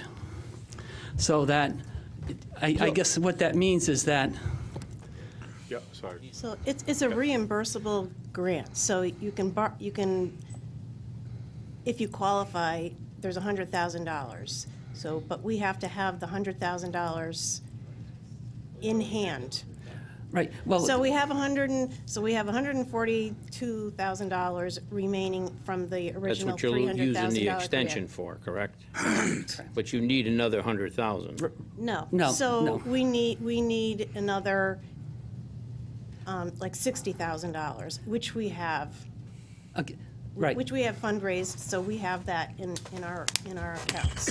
So we would have to have, if we, if we qualified for the hundred thousand dollars, which is the maximum amount that they will grant, um, we would have to have everything, and then when the project is completed, then the state comes and reviews it and makes sure that we've done everything that we were supposed to do according to the plan and according to their, their criteria, and and then we would be reimbursed. For the $100,000. Correct. But we have to have it all in hand. So you need it, so. So we my need to have question is, You $200,000. still need, aside from this extension, you still need almost $100,000. No, we need sixty thousand dollars. That would, Then- hundred and forty-two You're and asking, sixty. so you're asking for the state for $40,000 more. No, we would be asking for one hundred thousand dollars. Exactly, just that that's we ha- 40,000 more than you need. No, it's sixty thousand. No? No. No, no, basically, I guess. You have a hundred thousand, you have a hundred thousand Okay, we- we have a That hundred- you're, you're asking for, you're, you're asking for an extension, I understand that. Correct. The state will give you another hundred thousand if you match a hundred, another hundred thousand. Correct, but we have to pay for $200,000 in total prior to the state giving us $100,000. Because right now, we were anticipating it's going to take us. But you're short a hundred thousand. We're 300, it's going to take us $300,000 to finish. How much? Three, 300,000. So another three hundred thousand? No, for, for, no. Another two hundred thousand? No, uh, because we have 140 from the town. We have our coffers, we have about $80,000. Okay. So that's 220. Okay. So that, so with that $220,000, if this, if we get a, a grant from the, the state for $100,000, basically we could, we would allocate a 200, a, a, a phase that was, would be worth $200,000 to complete a certain portion of the work. That would leave another $100,000 to finish. And what we would need to do is we would need to accomplish and end that first phase for $200,000. At that point, the state would come in and look at what we've done, and as long as we have complied with all their criteria, they would reimburse us $100,000, which would give us the $300,000 that we need to finish. So basically, what we're doing is we're leverage, leveraging our 140 plus our coffers to, to engage, you know, for a final, a, a a next to final phase of $200,000. And then once we finish that phase, we get $100,000 from the state. Sounds like a tap dance to me, but I don't know. But, but that, that's how the state works. So let me ask you this question, how much longer is this project gonna go? We're anticipating that it, it should not go longer than Because it's been about 40 years by now a money pit that we've been throwing money into it. This wasn't a grant. I, I- I noticed that this was not a grant, $300,000 grant. This money came from the town council uh, when we saved money, when we did away with the, the, uh, the guards in schools. And I was on the council when we did that, $300,000. It was an amendment, amendment to the uh, budget. So it wasn't, it, it, what, what you say here is the town of Enfield grant for, wasn't really a grant. We gave you, yeah, we gave you a grant of three hundred thousand dollars was money left over from the guards. This has been, well, I've been on the council six years, and you still don't have a certificate of occupancy.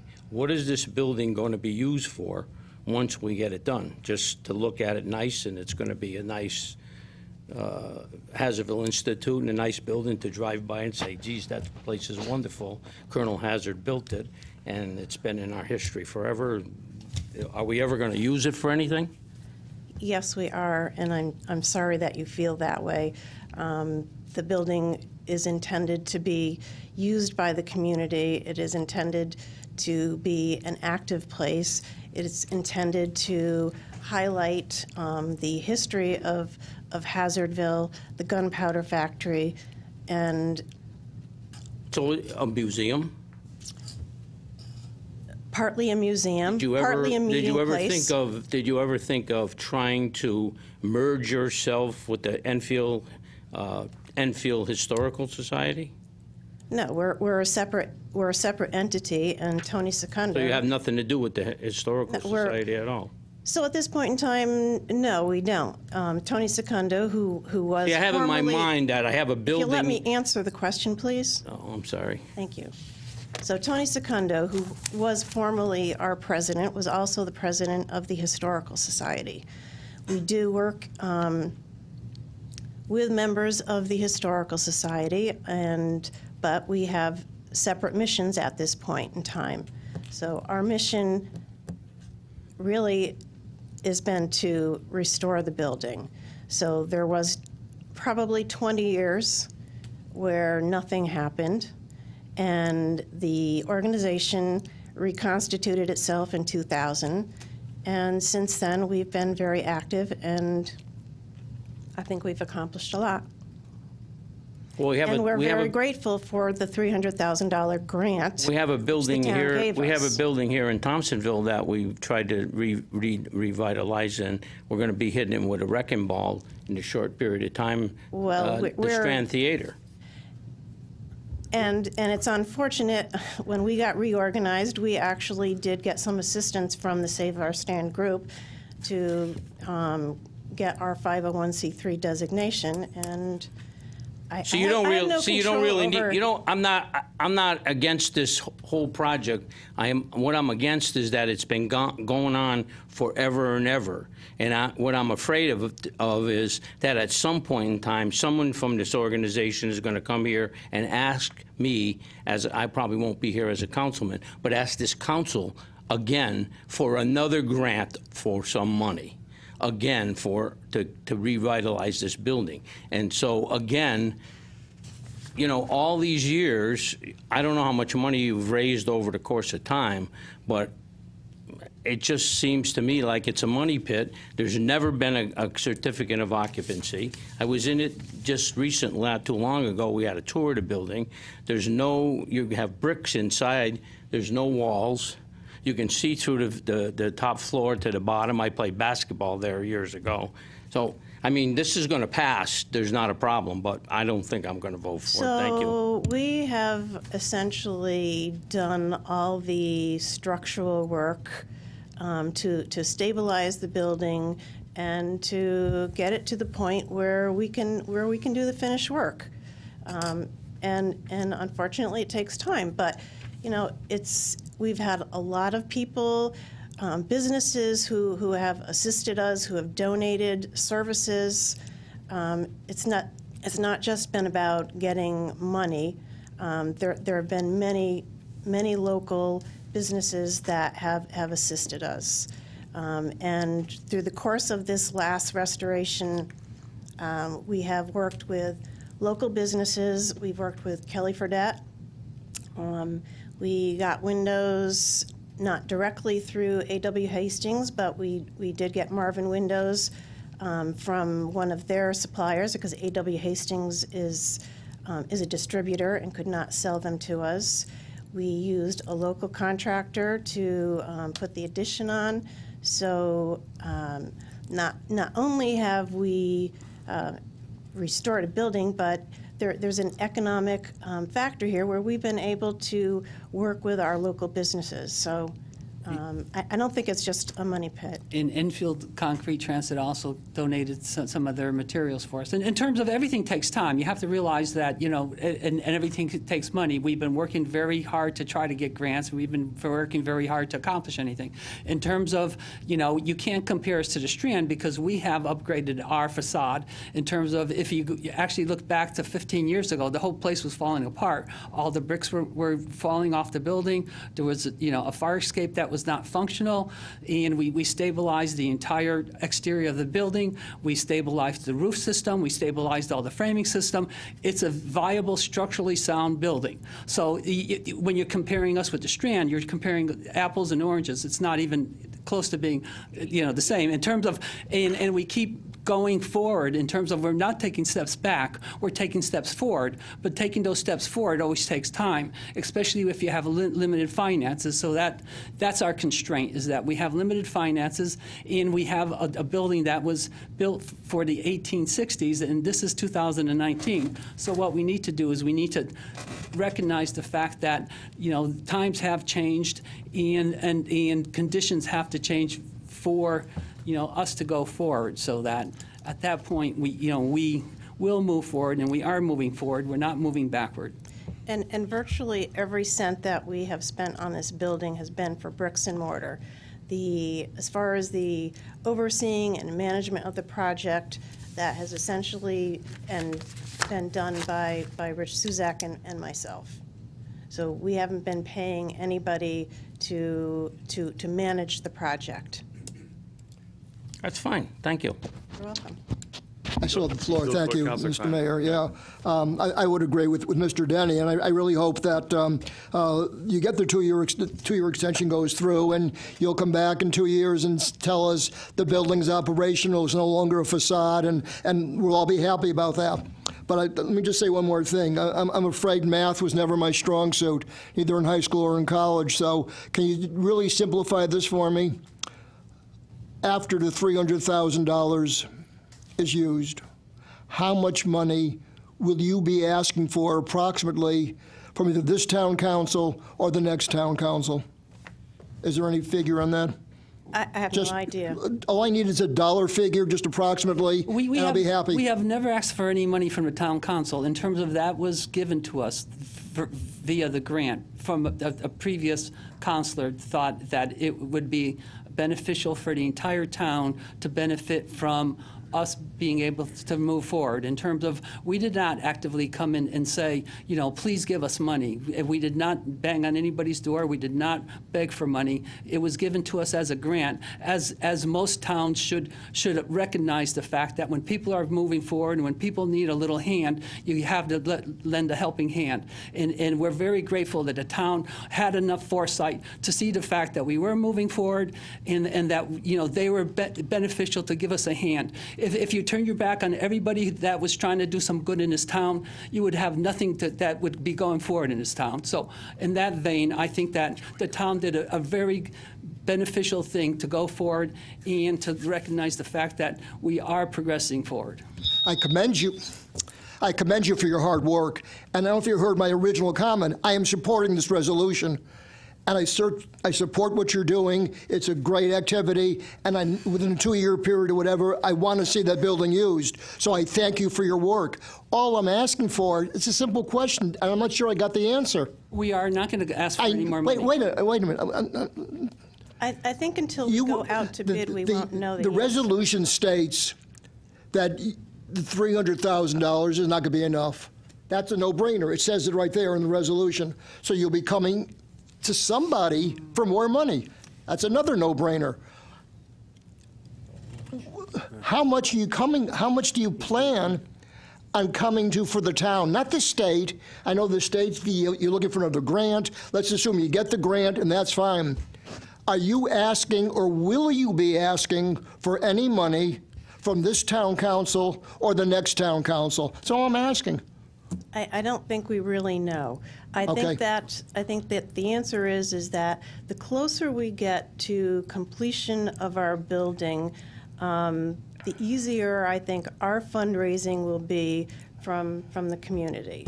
That people want to support something where they see an end game. And so at, at this point in time, fundraising, well, for, for any nonprofit, for any organization, fundraising's not easy. There, there's just not a lot of money out there.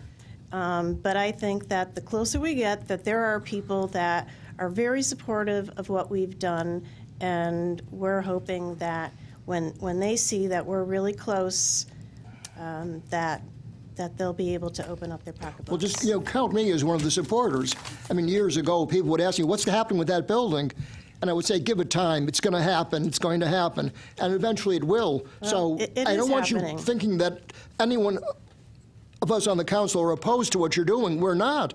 At least talking for myself, I, I approve of what you're doing. I think it's a wonderful activity, and I'd love to see this building put to use. All I'm asking for is just dollars and cents. And Gretchen, you answered the, the, when you said you didn't know, and that's that's fine. You don't know how much you know is going to be um, asked, and I can understand that. I think once, once we put this next phase out to bid, we're, we're going to know what it's, what it's going to cost. At this point, we, we just don't know. Okay. I mean, the last phase that we did, we were very fortunate that we, we debated whether or not to, to start it before the winter, and we talked with our contractor, and we decided to do it.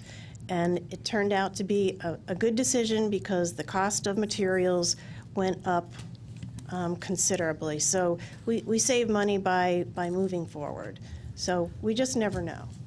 Thank you. Thank you, Mr. Mayor. Because we, we do, Coun- Councilor Bosco, we need, we need to move on.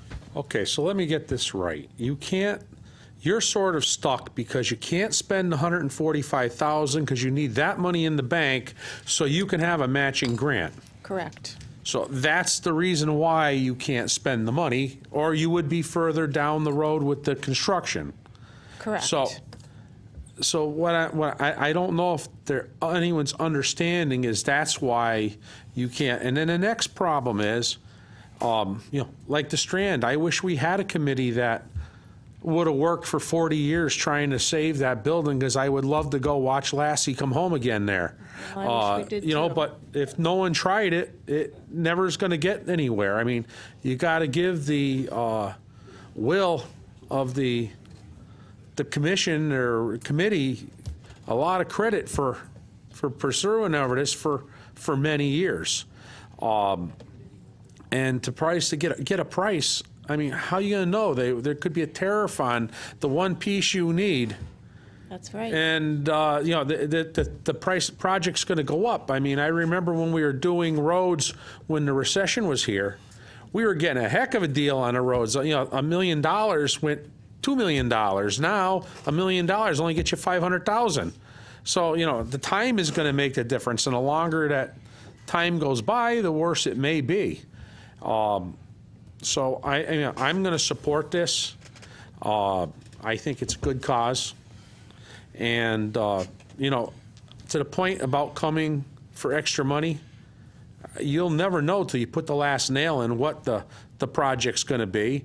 And realistically, it's up to the 11 council people either tell you they're going to give you money or pound sand. And, and, but you can't be held to a guarantee right now when you don't know. What if you're $5,000 away and you can't raise it to open the door?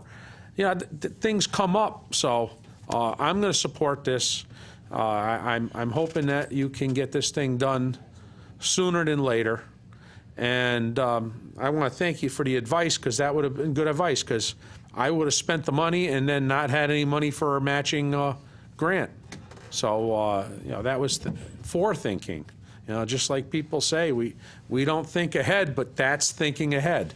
Don't spend the money yet, you know, but on the other hand, you're jeopardizing losing the time of the two years, the money run out. So, you know, we have to give it to you because if not, uh, all you're waiting for and trying to get the other grant would, would be in vain. So, thank you. Councilor Sferrazza. I actually was debating whether or not I should ask this question because I didn't want to muddy the waters, but at this point, I don't think I could. so it's very simple to me. This resolution this evening is not asking for any money.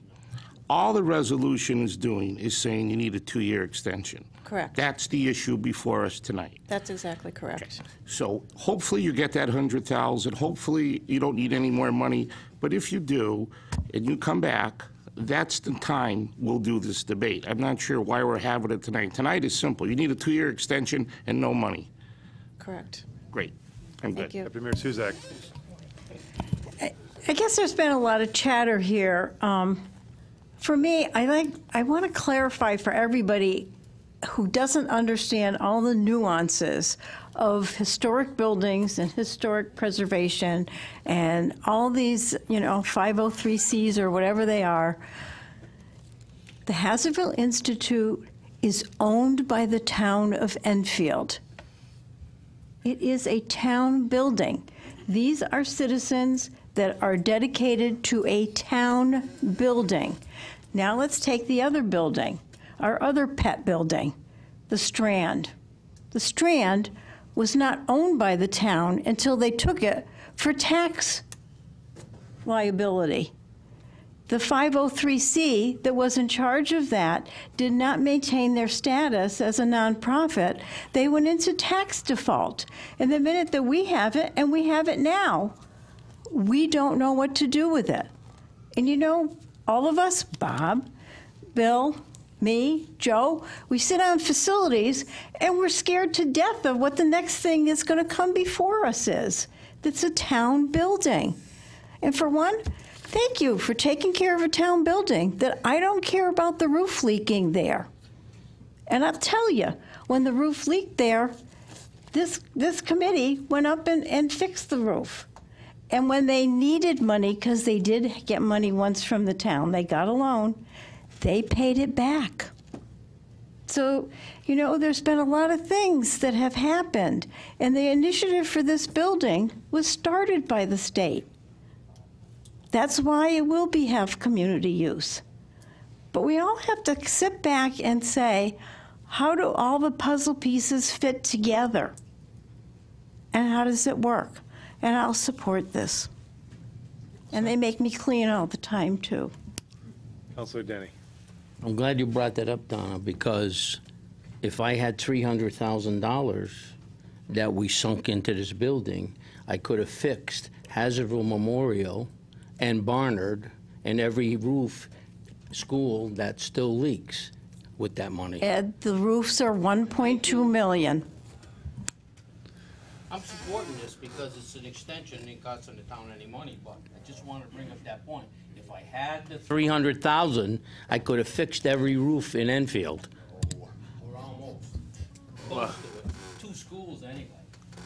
Well, again, we're not here to debate what prior councils have done. I mean, so my only, my only point to you folks, Thank ag- you. agree that there was a committee for the Strand, and actually, if you recall, Governor Rowland at the time came to Enfield, and I think he donated four, I think it was four hundred thousand dollars of state money, or three fifty, whatever it was, at that point back in the nineties, to move the Strand forward. And again, for whatever reason, it just didn't, didn't work, and it didn't happen. I, I don't want to comment other than that's just a fact of the matter. And you're, fo- you know, you're right. You didn't ask for the 300 grand. It was given to you from the town. You're managing it very tightly, and I know, I think Councilman Bosco said it best. You'd love to move forward, but actually, you got a chance to, if you halt for a little bit, to actually get some state matching grants from the historical uh, grants that maybe in past we didn't know were out there. And again, good news, we hired someone from the state who understands those grants are out there and we're helping you folks. So again, I think to what Council Bo- Bosco said, we're actually trying to be proactive, even if we have to take a step back a little bit to, to the point of getting that matching grant is to finish the project, not to ask for more money from the town. That's the point, right? Yes. So I support this as well. Thank you. Thank you, and we are very grateful for, for your support and for the original $300,000. And we have worked very hard to um, make it go as far as possible. Mr. Mayor, if I'd known there was so much interest in this, I would have put it down for a special 6 to 7 o'clock meeting so we could have had a presentation. I think it would have been interesting, and maybe we'll do it in the future when they get this grant. And in the famous words of Red Edgar, I think he would say, "It's now time to move the question." Thank you. Roll call, please. Councilor Bosco? Four. Councilor Crissati? Four. Councilor Denny? Four. Councilor Kiner? Four. Chairman Ludwig. Four. Councilor Muller? Four. Councilor Sferrazza? Four. Councilor Szewczak? Four. Councilor Unghire? Four. Nine in favor, none against. Moving on to item N, resolution setting a public hearing for the 2019 Neighborhood Assistant Gra- Act. Resolve the Enfield Town Council will hold a public hearing in the Enfield Town Hall Council Chambers, 820 Enfield Street, Enfield, Connecticut, on Monday, June 17th at 6:50 PM to allow interested citizens an opportunity to express their opinions regarding the 2019 Neighborhood Assistant Act proposals submitted on May 28, 2018 2019 by the Town Manager's Office. By Councilor Muller, seconded by Councilor Denny. Says 18, you just have to amend to make it say 19 on the, it says 18. Not that, again, just, uh, that's what it says, Lisa, least on this, my packet. Yeah, Prepared, it says prepared by May, yeah. Any discussion on the resolution? Hearing none, roll call, please. Councilor Crissati? Four. Councilor Denny? Four. Councilor Kiner. Four. Councilor Ludwig. Four. Councilor Muller. Four. Councilor Sferrazza. Four. Councilor Szewczak. Four. And Councilor Unghire. Four. Eight in favor, none against. Moving on to item O, resolution authorizing the town manager to enter into a lease agreement with Ed- Educational Resources for Children, Inc. Whereas the current lease for the Educational Resource for Children, Inc., ERFC, began September 1, 2012, expires on June 30, 2019. And whereas ERFC, Inc. has requested a new lease for a term of five years for the purpose of operating a before and after-school childcare program in various rooms in the following town-owned school facilities. One, Henry Barnard Elementary School. Two, Prudence Crandall. Three, Enfield Street, Street School. Four, Hazardville Memorial. Five, Edgar, Edgar H. Parkman. Six, Eli Whitney. Whereas the town hall, town, Enfield Town Council supports the lease of specific rooms within these town-owned school facilities for the aforementioned purpose. Now therefore be it resolved that the town manager, Christopher Dever Bromson, is empowered to execute the lease between the town of Enfield, the Educational Resource for Children, Inc., subject to review and approval of the town attorney by, by, uh, approved by Kasha Purcell, Assistant Town Manager, on May 23rd, 2019. By Councilor Muller, seconded by Councilor Crisati.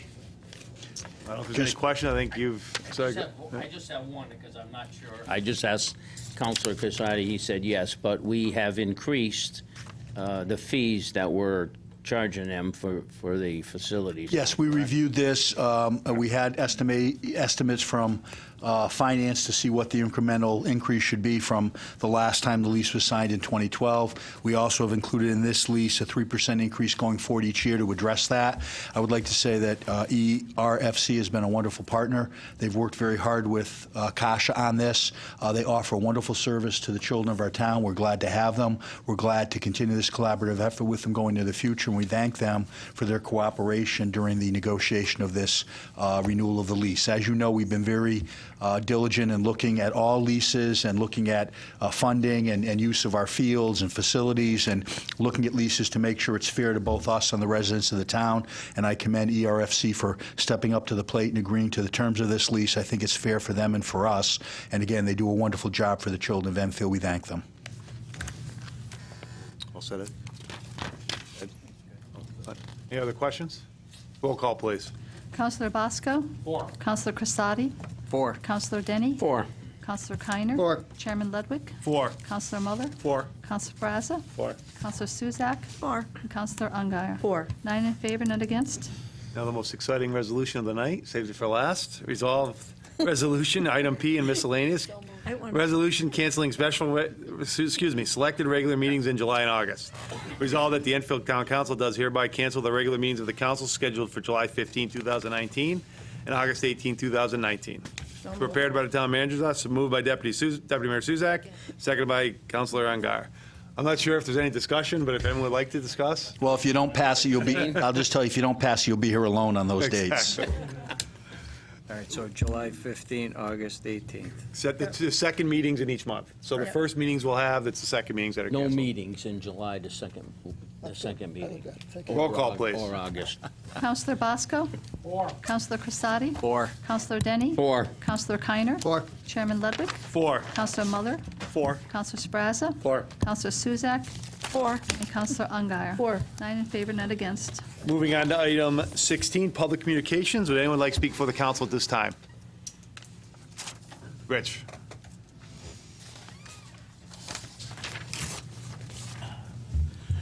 Renier, 206 Abbey Road. Um, I watched a little bit this evening in regards to the presentation uh, for the Stowe Building. Uh, That's kind of my premise of being here this evening. Uh, A couple of misconceptions and thoughts. Number one, uh, not everyone from the Board of Ed and Town Council was on favor of this change.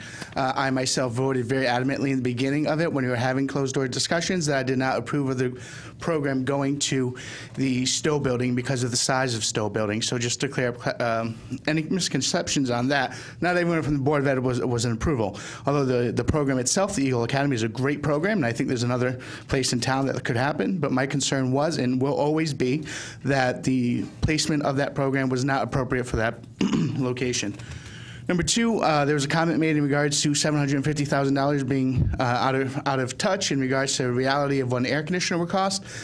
2017, Newington um, had proposed to their Board of Education a $1.5 million um, fee to, to air condition four classrooms, uh, and those are ductless air conditioners. Um, And that is 1.5 million for four classrooms. So looking at 750,000 for air conditioner of a gym, I don't think is, is that out of touch, uh, considering our neighbors to the south uh, already put a bid in for something that was around the same thing. Uh, Thirdly, um, in regards to the parking, I did see the new layout in regards to the parking. Um, Concerns that come up with the parking is you have an active crossway between four playgrounds on each side that you're going to be moving cars in and out of. You have an active basketball hoop in the back left corner that cars will be going in and out of. I don't see any change in regards to the direction of how cars flow in and flow out. So that is going to be a concern from people that I, uh, from people that I've talked to, and people that don't want to come before the board for, for concerns of just not wanting to come out and public speak. Um, But the placement of those cars, the front is great, but the back, it's abutting the, the four playgrounds to the left and the six playgrounds to the right, and the open basketball court that's back there as well. So there is concern about people walking their kids, and the concern about cars coming in and out with the flow of traffic. Um, bathrooms, um, I know this was kind of taken late, um, but listen, that building was made for kindergarten to sixth grade.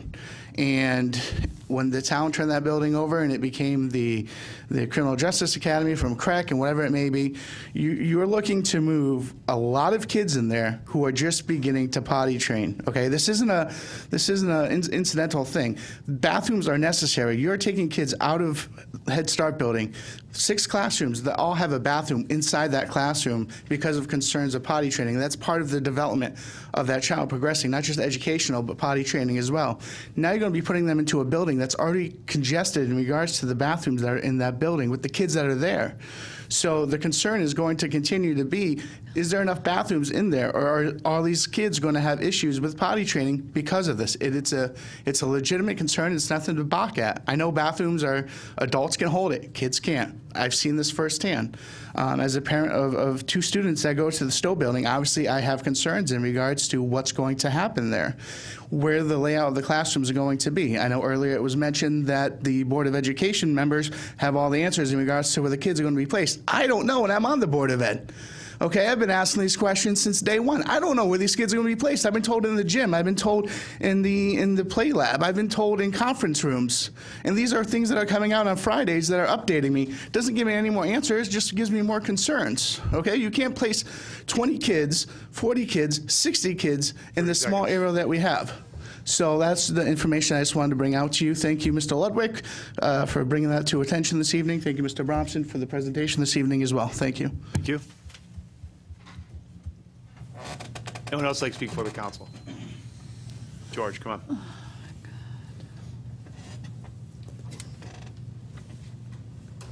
Let's be quick. uh, All right. As far as the uh, Hazardville Institute Conservatory Society, that 5013C organization. The I mic, gotta tell ya, the mic, George. Sorry. Let's start again. Uh, Let's be quick. I I can gave hear you the full myself three now. minutes, don't worry.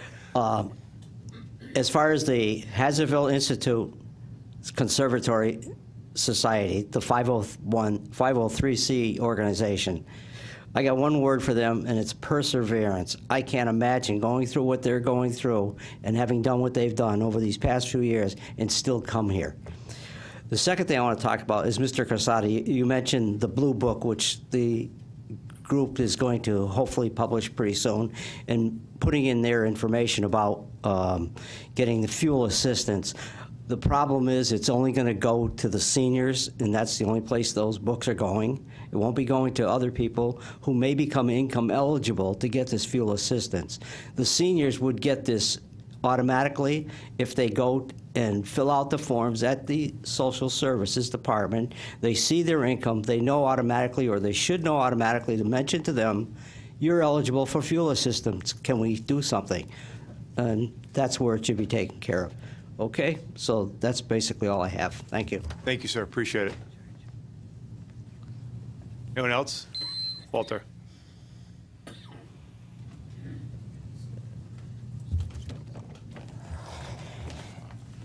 Walter Cruzel, 21 Charlie Road. $300,000. That wouldn't even fix this roof above our head. $30 million that Washington spent could fix a lot of roofs. That's half my budget. So maybe you should ask your friends down in Washington why they're spending $30 million on useless studies and useless this. $30 million, I should say. Is that what I said? So, but they've been doing a, a terrific job with that building in Hazardville, and they're close. They're really close, and it takes time, just like it takes time for us to get roofs done in this town. It's just bureaucracy. It's total binders of papers and, and everything just to put a roof on a building. It's ridiculous, but it's what it is. And Mr. Bromson, thank you for the presentation on the Stowe building. Thank you for all your support. This project, this, we're getting close on this too, and I think this is going to work. Head Start, Head Start moving into Stowe, we're going to be a model for the state that we've put the whole program together, and like the mayor said, adding STEAM to every child in this town. This will this will do now. So, and the state's already looking at us to. They're gonna we're gonna present this to other districts. This this uh, this building in Stowe and how this pro- pro- program works. So, we're gonna make it work, and that's what we do. We have to have faith in our staff. I listened to all the things that you, we, you, you went through. Staff in this town works tremendous. We got to have faith in them and, and let them do their work. And, and I know it will work. So, thank you. Thank you. Anyone else like to speak for the council? Hearing none, I declare public communications closed. Any council communications this time? Councilor Sferrazza? I apologize for not saying this at the beginning of the meeting, but um, last Sunday, I was honored to be asked to participate in our, our Memorial Day parade. And I want to thank the veterans in town that put that parade together. Um, I missed that uh, Mr. Plamanda wasn't there, but I, I think it was an extraordinary day. And I just want to say that what Mr. Denny said at the beginning of the meeting, uh, D-Day on Thursday is the seven, 75th anniversary. Our veterans won't be around for the 100th. And I, for one, appreciate and understand that the freedoms and liberties to have these types of meetings isn't because we were lucky. It was paid for with the blood of the people on D-Day and all the wars. So maybe on Thursday, I'm not saying it's a national day of prayer, but I'll certainly be thinking about what happened on the beaches of Normandy and grateful that God gave me the chance to live in this country. Thank you. Just closing, I, I agree. So the, the Parkman school kids, the saying at, at the ceremony, if folks didn't see it, again, tying in the Wreaths Across America ceremony, which I recommend everyone getting an opportunity to go see at Parkman School. So they actually marched in the parade, those kids, and sang God Bless America and America the Beautiful, which are two great songs, no matter who sings it, but they did a great job honoring our veterans, hung in there when it was hot. Guess, so I think, it just, again, another testament, if you were here at the, the the ceremony, Enfield Public Schools was on full display. JFK Band, Enfield High Band, Parkman School kids, and then those kids who I hope that we can bring next meeting from JFK, who will do a fantastic presentation and honor to our Civil War veterans, which, I mean, it's very interesting. I don't want to kind of throw it away, but 39 individuals who gave their life in the Civil War fighting for the North Union, they are honoring. They did the research. I'm really excited for people in town to see what our kids are doing. And last thing, if you're in, it's in a par, I apologize. Maybe next meeting we have an update on the RFQ for the uh, real estate option of, you know, I know we're looking forward to putting together, starting to market our buildings that we have, that we're trying to sell. You know, I know, I don't know where we're at on that process, but to let people know that we actually, I know there's some vacant buildings in town. Yeah, we've, before we've even- chosen, we've chosen the Realtor, and Nelson's working now. The next phase is to identify the different properties uh, that we'll have them be marketing for us. All right. We'll update that. Perfect. Thank you. Uh, Councilor Engar? Uh, Lastly, uh, on Monday, June 17th, is the Community Day of Prayer, and that will be held at the gazebo from 7 to 8, so everyone's welcome. You know, Mr. Mayor, I'll just add, in, in the spirit of um, the 75th anniversary, the celebration, and what you mentioned as well uh, about the parade. At the parade, the Lieutenant Governor Susan Bysiewicz was here, and she reached out to us, and we're working with her. They identified around the state. They did uh, World War II veterans, and they've done uh, Korean veterans, and now we're trying to look through between our assessor's list and the clerk's office identifying Vietnam veterans. Some towns have actually put ads out and solicited the public, but I'll take this opportunity um, for any of those they want to come. They're going to be going to all the towns, the governor and the lieutenant governor, to recognize Vietnam War veterans. Um, we had quite a few from this town, so I asked the reporter, Jessica, and people at home, if you know a veteran who would like to be recognized. We're trying to cross-reference the lists um, because they're not complete. So if anybody out there is interested, please contact the manager's office, give us your information, spread the word to neighbors and friends, because I think that's a wonderful thing that they're going to be doing in the fall, and they would come to Enfield anytime from August, September, October, and we'll have a uh, award ceremony with everybody invited to recognize the uh, Vietnam veterans of the town of Enfield. So please reach out to friends, family, anybody you might know. We will do something more on our website and a press release to do it formally, but we encourage everybody to come forward that served in that war and would like to come and be recognized uh, by our state officials. Anything else? A motion to adjourn? By Councilor Denny, seconded by Councilor Casati. All those in favor by show of hands. Nine in favor, zero against. Good night, everyone. Thank you.